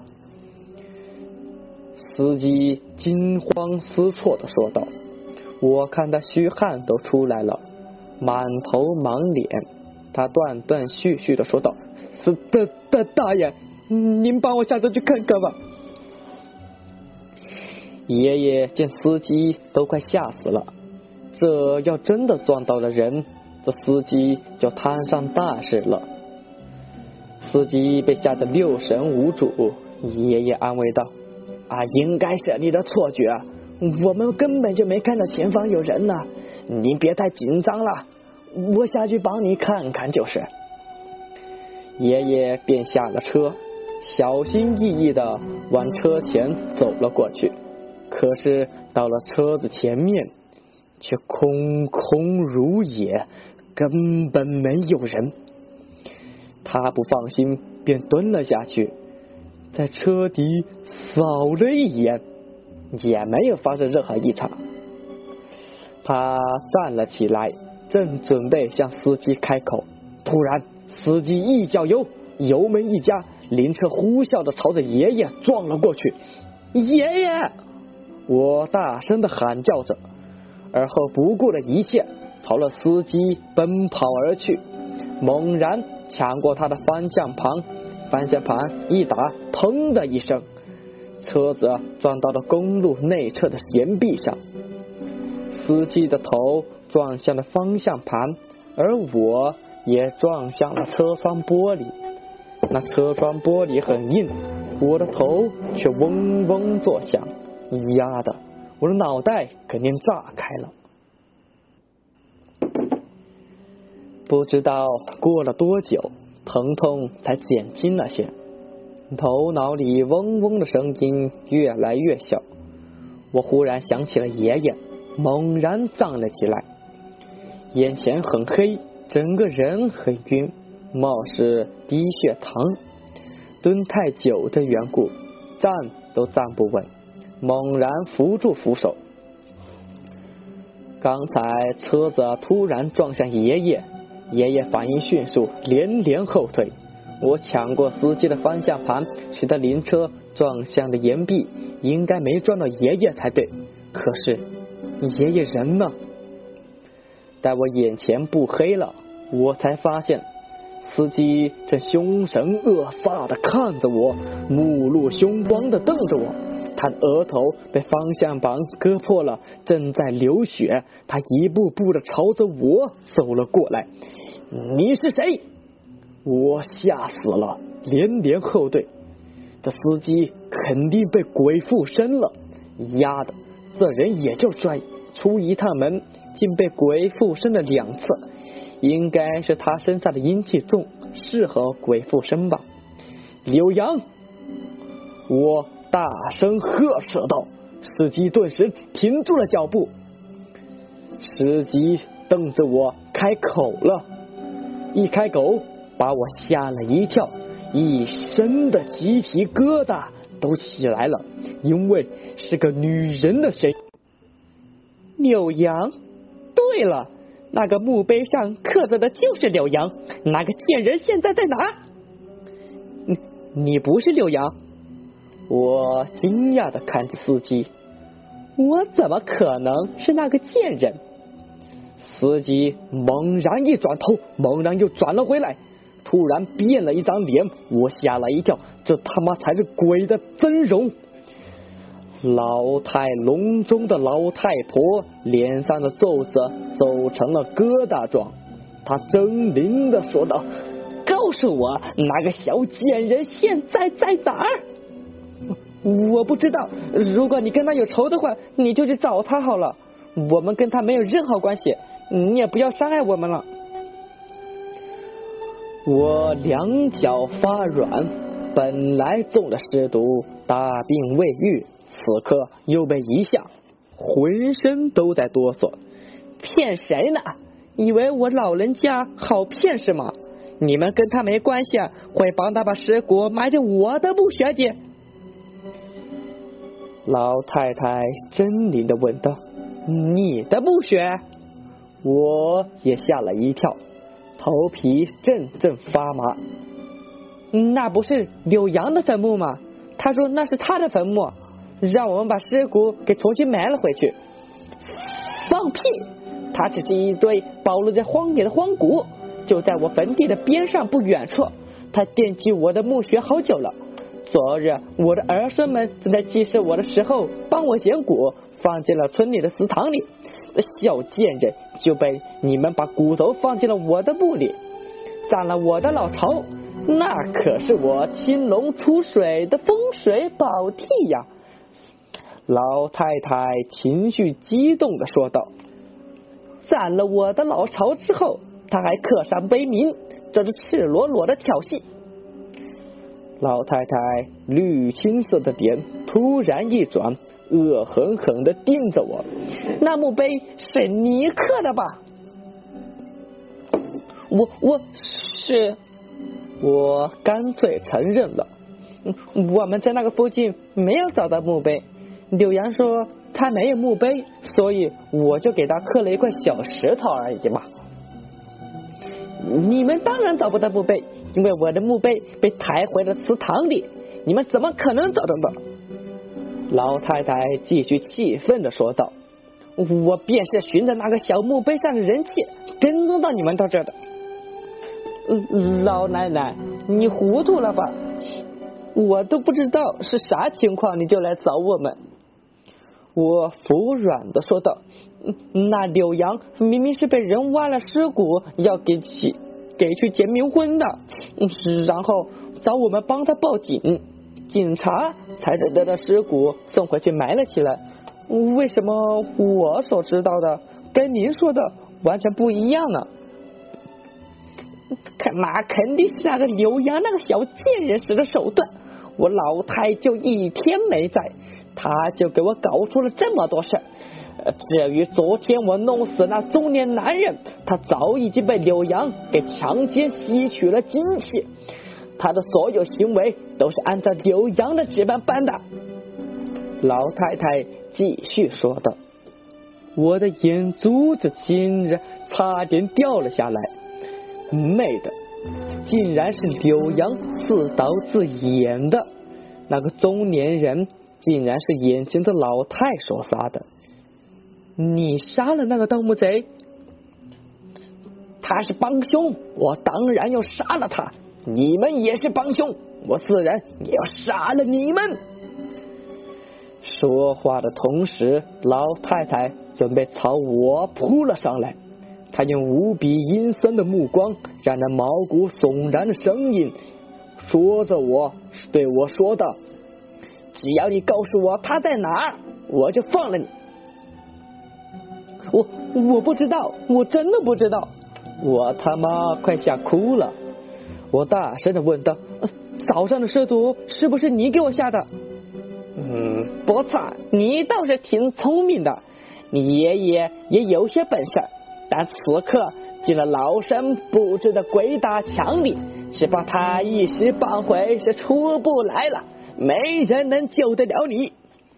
老太太面带狰狞的笑容，朝着我扑了过来，深深爪子一探，就探住了我的脖子，就跟那小鸡脖子似的。我感觉无尽的窒息感，眼睛直翻白，两脚已经离地了。